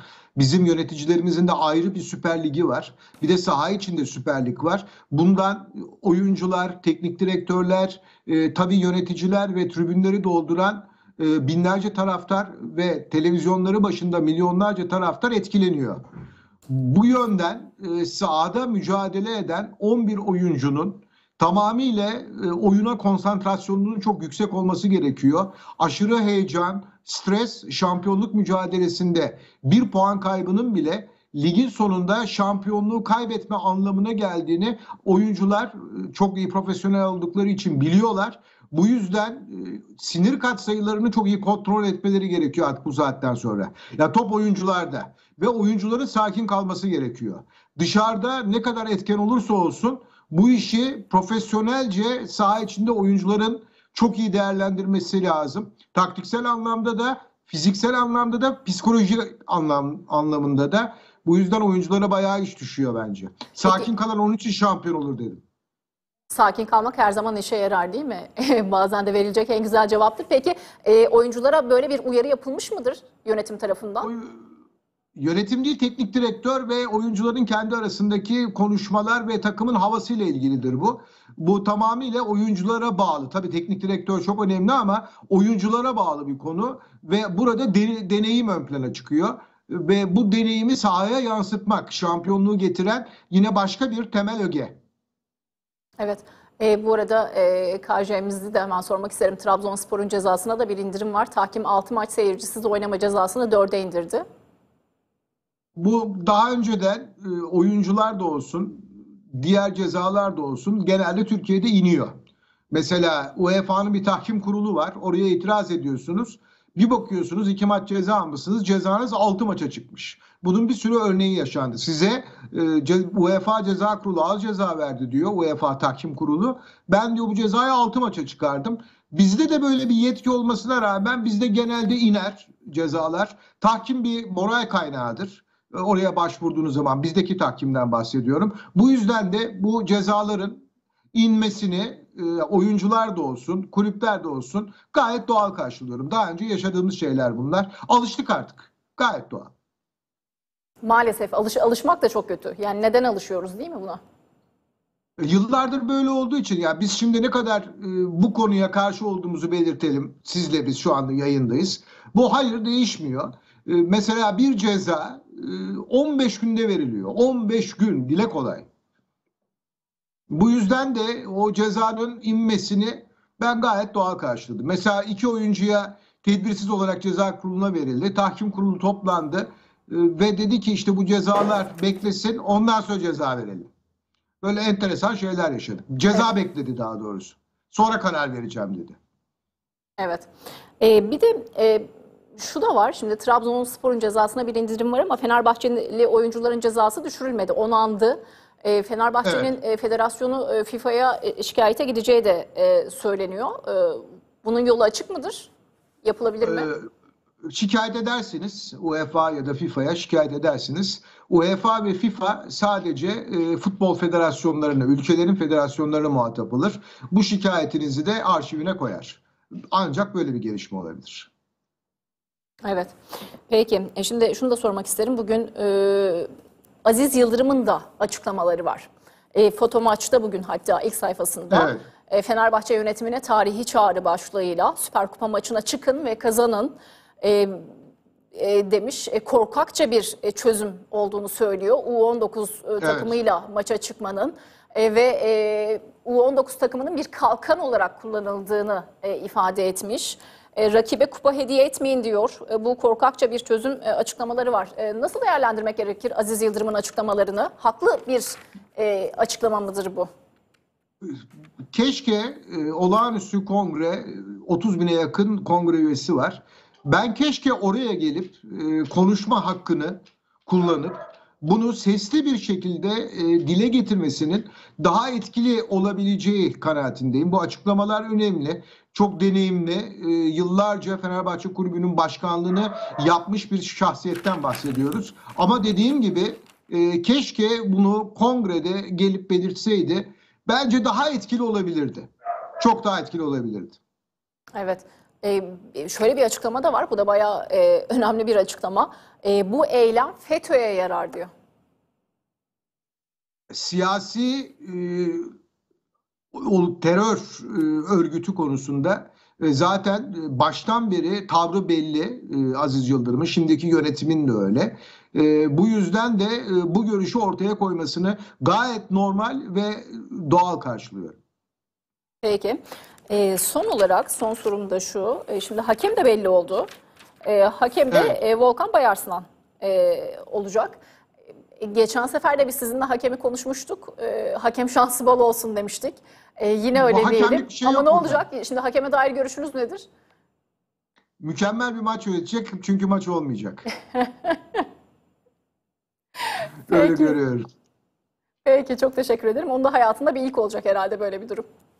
Tabii o da e, bence güzel bir anı kendisi için. Güz- güzel mi?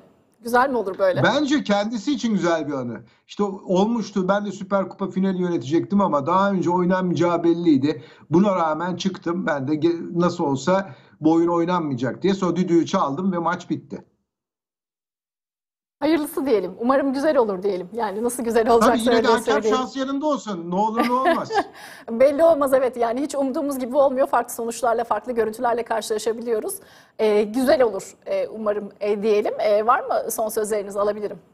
Yarına dair. Yine e, umarım e, yarın e, fazla sinirlenmeden, strese girmeden e, bir gün yaşarız diyeceğim ama e, yine öyle olmayacak herhalde. Umarım, umarım hiçbirimiz sinirlenmeyiz. Sizi de sinirlendirmezdir umarım. Estağfurullah. Çok teşekkür ederiz. Sağ olun. Güzel bir cumartesi olsun. Sağ olun size de iyi günler. Ercan Taner bizlerle birlikteydi. Yarın Süper Kupa var. Süper Kupa'ya dair görüşlerini paylaştı. Hakem Volkan Bayarslan olacak. Fenerbahçe U19 takımıyla Galatasaray'ın karşısına çıkacak. Galatasaray'a da böyle bir e, aslında gitmiş e, öneri. Siz de U19 takımıyla çıkın diye. Ama pek sıcak bakmıyorlar e, Galatasaray yönetimi.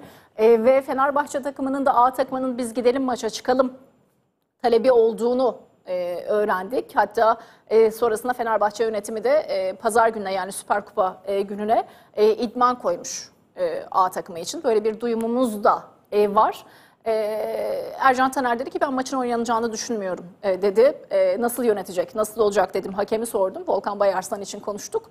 E, böyle bir maç olacağını düşünmüyorum dedi. E, umarız güzel olur diyelim. Öyle temenni edelim. Yarın yine paylaşırız biz sizlerle detayları hep birlikte konuşuruz. Şimdi Çorlu ile devam ediyoruz. Çorlu'yu konuşuyoruz. Tekirdağ Çorlu ilçesinde 2018'de meydana gelen ve 7'si çocuk 25 kişinin hayatını kaybettiği tren kazasında e, yargılama sürüyor. Aileler kazanın sorumlusunun yargılanmasını beklerken o dönemki e, Türkiye Cumhuriyeti Devlet Demiryolları Genel Müdürü'nün kamudan 6 milyar TL'lik ihale aldığı ortaya çıktı. Yargılanması talep ediliyordu, yargılanmadı. Devletten yeni ihale aldığı ortaya çıktı. Tekirdağ Çorlu'da 8 Temmuz 2018'de meydana gelen tren kazasında 7'si çocuk 25 kişi hayatını kaybetti. Geçen ay görülen 19. duruşma 10 dakika sürdü. Dava 25 Nisan'a ertelendi. Duruşmanın görüldüğü gün kazanın olduğu dönemde Türkiye Cumhuriyeti Devlet Demiryolları Genel Müdürü olan İsa Apaydın'ın görev yaptığı şirkete 1 milyar 277 milyon liralık ihale verildi. Tren kazasında yakınlarını kaybeden aileler sorumlu olduğunu düşündükleri İsa Apaydın'ın yargılanmasını istiyor. Ailelerin bu beklentisi sürerken Apaydın'ın şirketine kamudan 6 milyar 910 milyonluk bir ihale daha verildi. Şirketin 2014 yılından bu yana aldığı kamu ihalelerinin toplam bedeli ise 11 milyar 520 milyon 713 bin Türk lirası. Erzincan İliç'le devam edelim mi? İliç'teki maden faciasında tonlarca zehirli toprağın altında kalan 9 canımız vardı. Birinin cansız bedenine 53 gün sonra ulaşıldı. Diğer 9, 8 canımızı, 8 işçiyi arama çalışmaları ise sürüyor.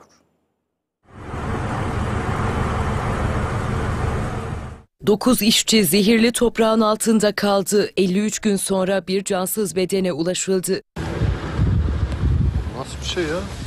13 Şubat'ta Erzincan İliç'te Anagold'un maden sahasında göçük meydana geldi. 9 işçi 10 milyon metreküp kimyasal toprağın altında kaldı. Facia tüm Türkiye'yi yasa boğdu. Soruşturma kapsamında mühendis, yönetici ve idarecilerden oluşan 9 kişi tutuklandı. Aradan 53 gün geçti. Arama çalışmalarında mangan ocağında Uğur Yıldız'ın cansız bedenine ulaşıldı. Cansız bedeni toprağın altından çıkarıldı. 33 yaşındaki Yıldız yaklaşık 6 yıldır altın madeninde kamyon şoförü olarak çalışıyordu. Toprak altında kalan diğer 8 madenciyi arama çalışmaları sürüyor. Boğaziçi Üniversitesi'nde düzenlenen onur yürüyüşüne katıldıkları gerekçesiyle 70 kişinin yargılandığı davada mütalaa açıklandı. Savcı iki öğrenci ve bir akademisyen için hapis cezası talep etti. Boğaziçi Üniversitesi'ndeki yürüyüşte gözaltına alınan 70 kişinin yargılandığı davada mütalaa açıklandı. İki öğrenci için iki ayrı suçtan toplamda 6 yıla kadar hapis istendi. Savcı aralarında bir gazeteci ve bir akademisyenin de olduğu 67 kişi içinse 3 yıla kadar hapis cezası talep etti.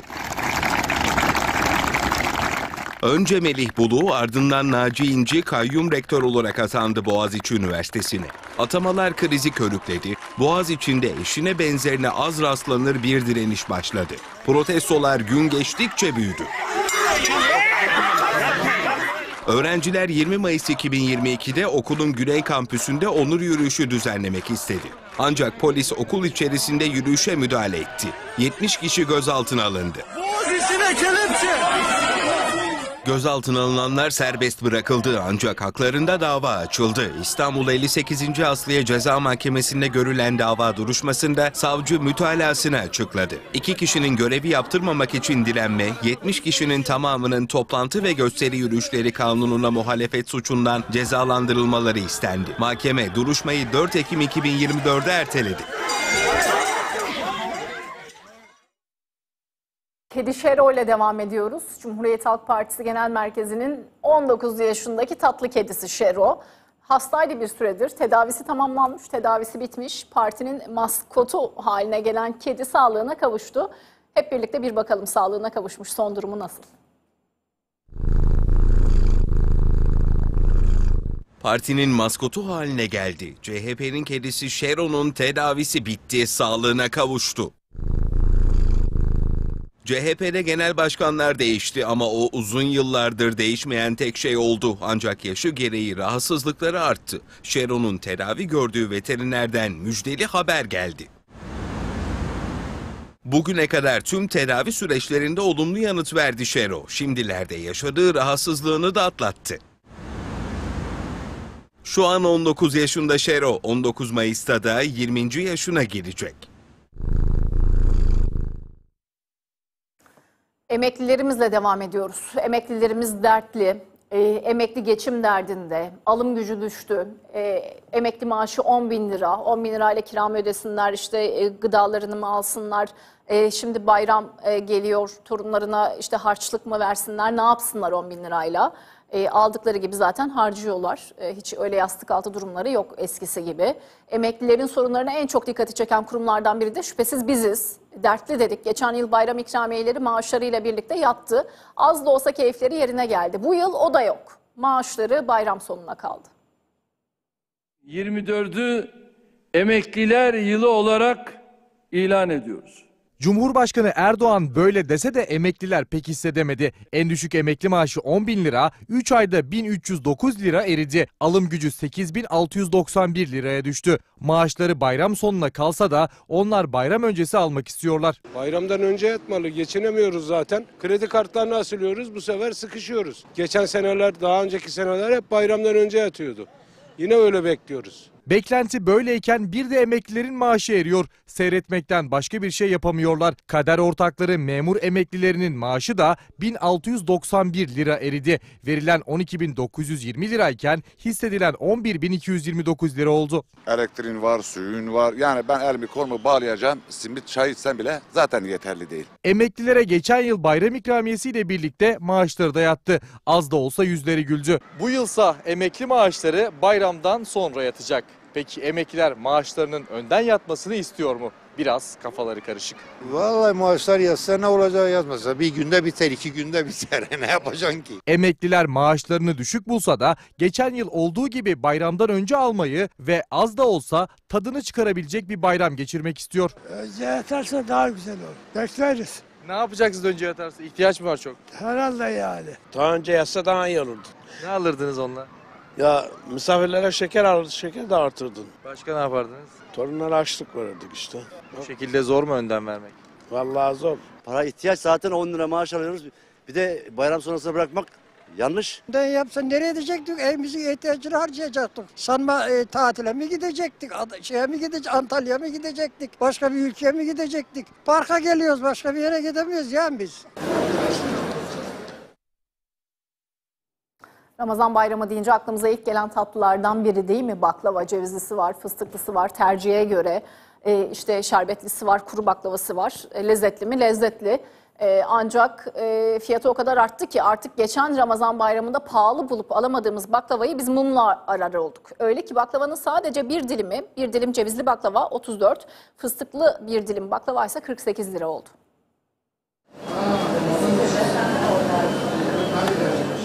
Kendisi tatlı ama fiyatına ardı ardına gelen zamlar sonrası artık acılı baklava. Çok pahalı alınmıyor, yapamıyoruz yani emekliyiz sonuçta. Şimdi alacak mısınız? Yok, alamayacağız maalesef. Sofraları ve sohbetleri tatlandıran kadim tatlı baklava. Zamların ardından durum değişti. Almakta, sofraya koymakta neredeyse imkansız hale geldi. Almayacağız da yapamayacağız da. Çikolatalar bile dünyanın parası olmuş. Ramazan bayramına kısa bir süre kaldı ama tüketici de esnaf da eski bayram telaşlarını arar oldu. Telaş olmadığı gibi artık alışverişin bereketi de yok. Eskisi gibi satışlar yok. 10 gün önceden başlıyordu siparişler. Şurada 4-5 gün bir şey kaldı. Maalesef daha sipariş minimum derecede yani. Bayramların vazgeçilmez lezzeti baklavanın tadı aynı yerinde duruyor. Ancak geçtiğimiz yıllara oranla fiyatı maalesef tadı kadar yerinde durmuyor. Çünkü geçen Ramazan bayramına oranla baklavanın fiyatı 2-3 kat arttı. Hatta bir dilimi bile artık cep yakar oldu. Bir dilim cevizli baklava 34 lira, bir dilim fıstıklı baklava 48 lira. Evinin kirasını mı ödesin, çocuğunun haşını mı ödesin, kendisine mi? Ben baklava evlere gireceğini bile düşünmüyorum. Her biri katlanarak arttı. Geçen yıl pahalı dediğimiz baklavanın fiyatını tüketici bu bayram arar oldu. Her bayram tatlılarımı, çikolatalarımı, torunlarıma para. Hiçbiri olmuyor şimdi artık. Ceviz pahalı, yufka yapmak. Hazır yufka alabilirsen belki biraz kendin şekeri falan pahalı tabii ki. Baklava pahalı olunca tüketici tercihini sütlü tatlılardan yana kullanır oldu. Ancak onların da fiyatları 150 ile 200 lira arası değişiyor. Alabildiğimiz kadar. Alabildiğimiz kadar alacağız. Önemli olan artık yemek değil tatmaya döndü iş. Olsa da yesek değil mi? Şimdi kameraman arkadaşımla konuşuyorduk haber girdiğinde. O da dedi ki en ucuzu sade olan dedi. Tabii fıstık pahalı, ceviz pahalı. Yani fiyatları giderek artıyor. Zam üstüne zam e, geliyor fıstığa ve cevize. Baklavanın fiyatı da artıyor. Kilo fiyatı da, dilim fiyatı da artıyor. Artık çözümü baklavacılar sade baklava üretmekte de buldu. E, kimisi de işte hani bir dilim olsun, iki dilim olsun, ağzımız tatlansın. E, işte Ramazan bayramında o geleneği yerine getirelim e, durumuyla sade baklava alanlar tercih edenler de var. Artık o noktaya geldik. Şimdi İsrail ve Gazze ile devam ediyoruz. Saldırıları sürüyor İsrail'in Gazze'ye yönelik. İsrail'e sürdürülen ticaret konusunda ülkeler geri adım atmaya başladı. Türkiye'nin İsrail'e ihracatı e, Mart'ta 436 milyon dolar oldu. Artarak devam etti. Ankara'nın tepkisini söylem boyutunda tutup e, üstüne ticareti sürdürmesinin kamuoyunda yarattığı bir rahatsızlık var. O rahatsızlıksa giderek büyüyor.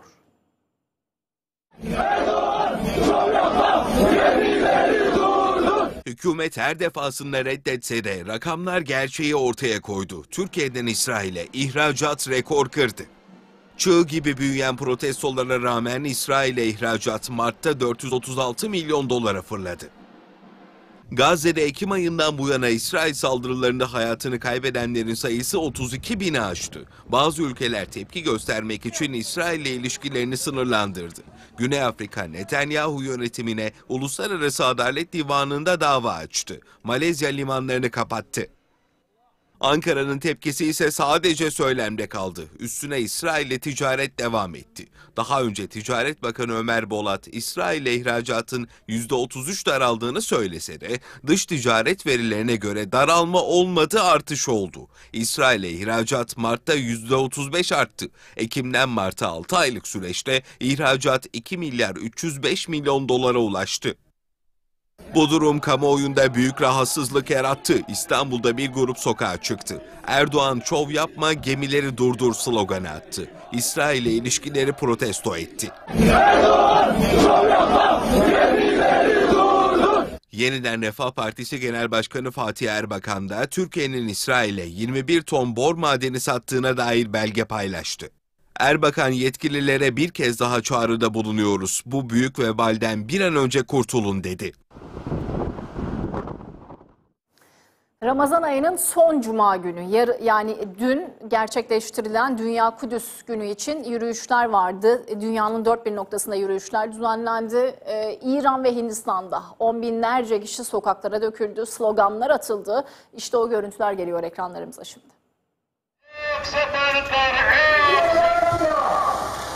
Dünyanın dört bir yanında kutlandı. On binlerce kişi katıldı. Irak, İran, Pakistan, Hindistan hepsi Ramazan ayının son cuma günü Filistin halkına destek vermek amacıyla gerçekleştirilen Dünya Kudüs Günü yürüyüşleri düzenledi. Sokaklar doldu taştı. Irak halkı başkent Bağdat'ta toplandı. Yürüyüşe katılanlar Amerika ve İsrail aleyhine slogan attı. Pakistan'ın Karachi kentinde yaşayan Şii grup, Dünya Kudüs Günü etkinlikleri kapsamında yürüyüş düzenledi. Yürüyüşe katılan vatandaşlar Amerika ve İsrail aleyhine sloganlar attı. Yürüyüş sırasında bazı göstericiler ellerinde kefenlenmiş bebek maketleri ve Filistin bayrakları taşıdı.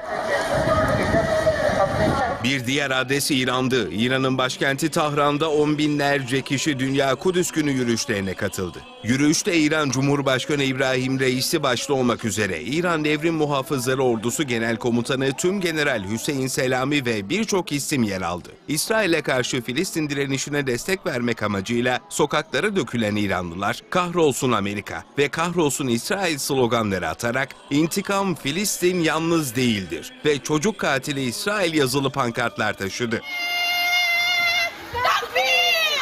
Güney Asya ülkesi Hindistan'da geniş katılımlı bir gösteriye ev sahipliği yaptı. Gösteri Keşmir bölgesindeki Budgam'da düzenlendi. Binlerce kişi Dünya Kudüs Günü etkinlikleri kapsamında buluştu. Göstericiler İsrail aleyhine slogan attı. Soykırımı durdurun sesleri yükseldi. Şimdi e, gazete Oksijen e, muhabiri e, Nimet Kıraç bizlerle birlikte e, Dünya Kudüs Günü dedik e, ve dünyanın pek çok noktasında on binlerce kişi sokaktaydı. Peki e, Nimet Kıraç da şimdi Mescid-i Aksa'nın bulunduğu e, bölgede. E, Nimet Kıraç e, kolaylıklar diliyorum. E, neler yaşanıyor? Dün nasıldı e, son cuma e, bayram öncesinde E, ve bir bayram hazırlığı var mı?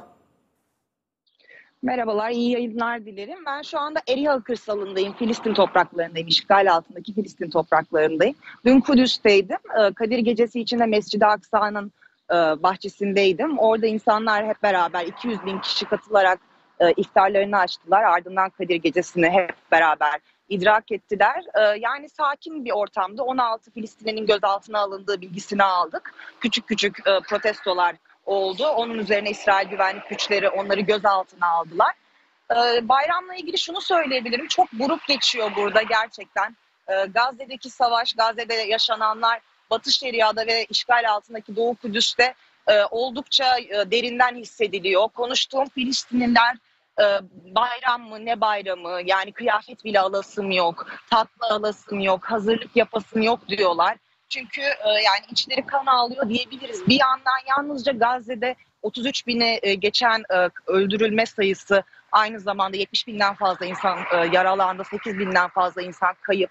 Yani her 40 e, Filistinliden bir tanesi ya kayıp ya öldürülmüş ya da e, enkaz altında yaralanmış durumda.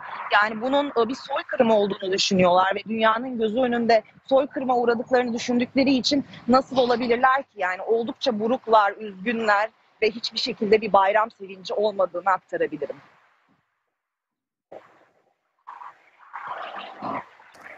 Peki. Nimet Kıraç'a çok teşekkür ediyoruz. Kolaylıklar dileyelim. Ee, şimdiden iyi bayramlar. Ee, bir daha e, bu yayını birlikte yapamayacak olursak. Çok teşekkür ederiz. Evet son durum böyleydi. Bölgede e, bizlerle paylaştı. Netanyahu, İsrail Başbakanı Benjamin Netanyahu, İran'ın Şam Büyükelçiliğine düzenledikleri saldırıdan sonra bir kez daha İran'ı tehdit etti. Bakın hangi sözlerle. Bize zarar verenlere biz de zarar vereceğiz dedi. İran'a tehdit yağdırdı. İsrail 1 Nisan'da İran'ın Şam'daki büyükelçilik yerleşkesinde yer alan konsolosluk binasına saldırdı. Saldırının ardından Tahran'da tansiyon yükseldi. Misilleme mesajları gelmeye devam etti. İran dini lideri Ayetullah Hamaney, İsrail'in Suriye'deki İran Büyükelçiliğine saldırısının yanıtsız kalmayacağını söyledi. Hamaney kendilerini içinden çıkılması imkansız olan bir tuzağa düşürdüler. Gün geçtikçe rejimi zayıflayacak ve Allah'ın izniyle ölüme ve yıkıma daha da yaklaşacak. Bu başarısızlık devam edecek. Suriye'de yaptıkları gibi umutsuz çabaları ve eylemleri için tokatlanacaklar dedi. Açıklamanın ardından İsrail Başbakanı Benjamin Netanyahu İran'ı resmen tehdit etti. Güvenlik kabinesi toplantısında yaptığı konuşmada İran'ı tehdit ederek bize zarar verenlere ya da zarar vermeyi planlayanlara biz de zarar vereceğiz diye konuştu. Tel Aviv yönetimi ise Şam'da İran'ın konsolosluk binasına düzenlenen saldırıyı resmi olarak üstlenmedi. Ve Tayvan. Tayvan 3 Nisan'daki 7, onda 4 büyüklüğündeki depremin yaralarını sarmaya çalışıyor. Son 25 yılın en büyük depreminin ardından Tayvan'a ilk yardım elini Japonya uzattı. 1 milyon dolarlık acil yardım gönderiyor. Tayvan 7,4'lük depremle sarsıldığı ada ülkesine ilk yardım elini Japonya uzattı. Acil yardım olarak 1 milyon dolar gönderecek. Tayvan 3 Nisan'da son 25 yılın en büyük depremini yaşadı. 7,4 ile sarsıldı, binalar yıkıldı, yollar ikiye ayrıldı. Deprem varçıları 24 toprak kaymasına neden oldu. 35 karayolu, köprü ve tünel hasar gördü. Hualien ve çevresindeki 125 binada hasar oluştu. 1133 kişi yaralandı. 12 kişi hayatını kaybetti.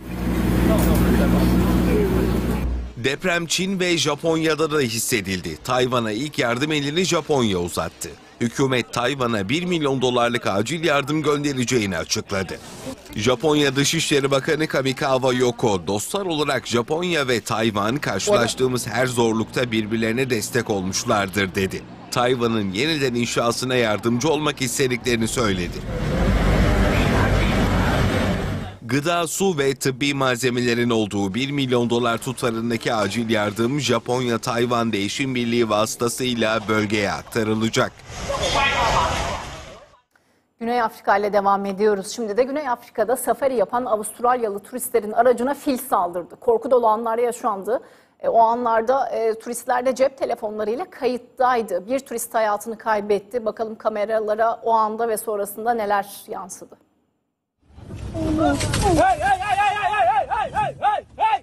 Safariye çıktılar, bindikleri araca fil saldırdı. Bir kişi hayatını kaybetti. Bir grup turist safari yapmak için Güney Afrika'ya gitti. Heyecan dolu başlayan safari macerasının sonu iyi bitmedi. Turistler seyir halindeyken bir fil safari aracına doğru koşmaya başladı. O anlarda turistler fili görüntülüyordu. Filin saldırısından kaçmak isteyen sürücü manevra yaptı ancak başarılı olamadı araç devrildi. Turistlerden biri hayatını kaybetti, dördü ise ağır yaralandı. Olay hakkında soruşturma başlatıldı. Dünyanın en romantik şehirlerinden biri Venedik. Artık şehre girişlerde ücreti alınmasına yönelik bir uygulama başlıyor. Günlük turist yoğunluğu var ve bunu kontrol etmek istiyorlar İtalyanlar. E, bu amaçla şehre günübirlik ziyarete gelen turistlerden giriş ücreti alınacak. 25 Nisan'da başlayacak bu uygulama. Günlük turist yoğunluğunu azaltmak istediler. Şehre girişe ayak bastı ücreti koydular. İtalya'nın göz alıcı kanallarıyla ünlü yüzen şehri Venedik'te turist yoğunluğu son yıllarda katlanarak arttı. Çarpık yapılaşma ve iklim sorunlarıyla ciddi tehdit altında olan Venedik'e bir de turist akını artınca yetkililer kentte yaşanan sorunlara çareyi giriş ücreti koymakta buldu. 25 Nisan 2024'ten itibaren turistlerden 5 euroluk ayak bastı ücreti alınacak. Uygulama Temmuz'un ikinci haftasına kadar denenecek. Şehirde yaşayanlar, işe gidip gelenler, öğrenciler ve 14 yaş altındakiler, geceyi şehirde geçen turistler bu uygulamadan muaf tutulacak. Giriş ücretini ödeyen her turiste bir QR kodu verilecek. İhlal edenler 50 ila 310 euroya kadar para cezasına çarptırılabilecek.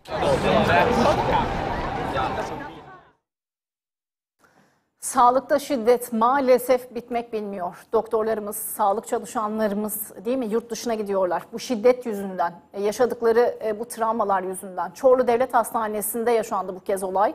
E, müdür yardımcılığı yapan bir kişi sağlık personeline saldırdı. Protez teknikeri Halil İbrahim Kazankaya başından yaralandı. Taraflar birbirinden şikayetçi oldu ve kavga anı sırasında kameralarda kayıttaydı. O anlar geliyor ekranlara. Bugün ne yazık ki yine sağlıkta şiddet vakası nedeniyle Çorlu Devlet Hastanesi önünde toplanmış bulunmaktayız. Hastane personelleri arasında kavga çıktı. Destek ve Kalite Hizmetler Müdür Yardımcısı protez ve ortez teknikerini darp etti. Sözleşmeli bir zanlı bugün arkadaşımıza yasal ceza alacak diye korkusundan şiddete başvurmuştur. Çorlu Devlet Hastanesi'ndeki iki görevli arasında malzeme alımı nedeniyle tartışma çıktı. Tartışma kısa sürede kavgaya dönüştü. Tekniker Halil İbrahim Kazankaya başını aldığı darbeyle yaralandı. İlk müdahaleyi hastanedeki arkadaşları yaptı. Bakayım kanıyor mu? Kavganın ardından taraflar karşılıklı şikayetçi oldu. Hastane yönetimi de olaya ilişkin idari soruşturma başlattı. Sakin ol lan sakin. Bu haberle birlikte bugün de bize ayrılan sürenin yarın, e, sonuna geldik. E, artık e, yarın saat 12'de biz yine buradayız. 12-15 arasında görüşmek dileğiyle. Yarına kadar, yarın 12'ye kadar. Hoşça kalın, sağlıkla kalın ve güzel kalın.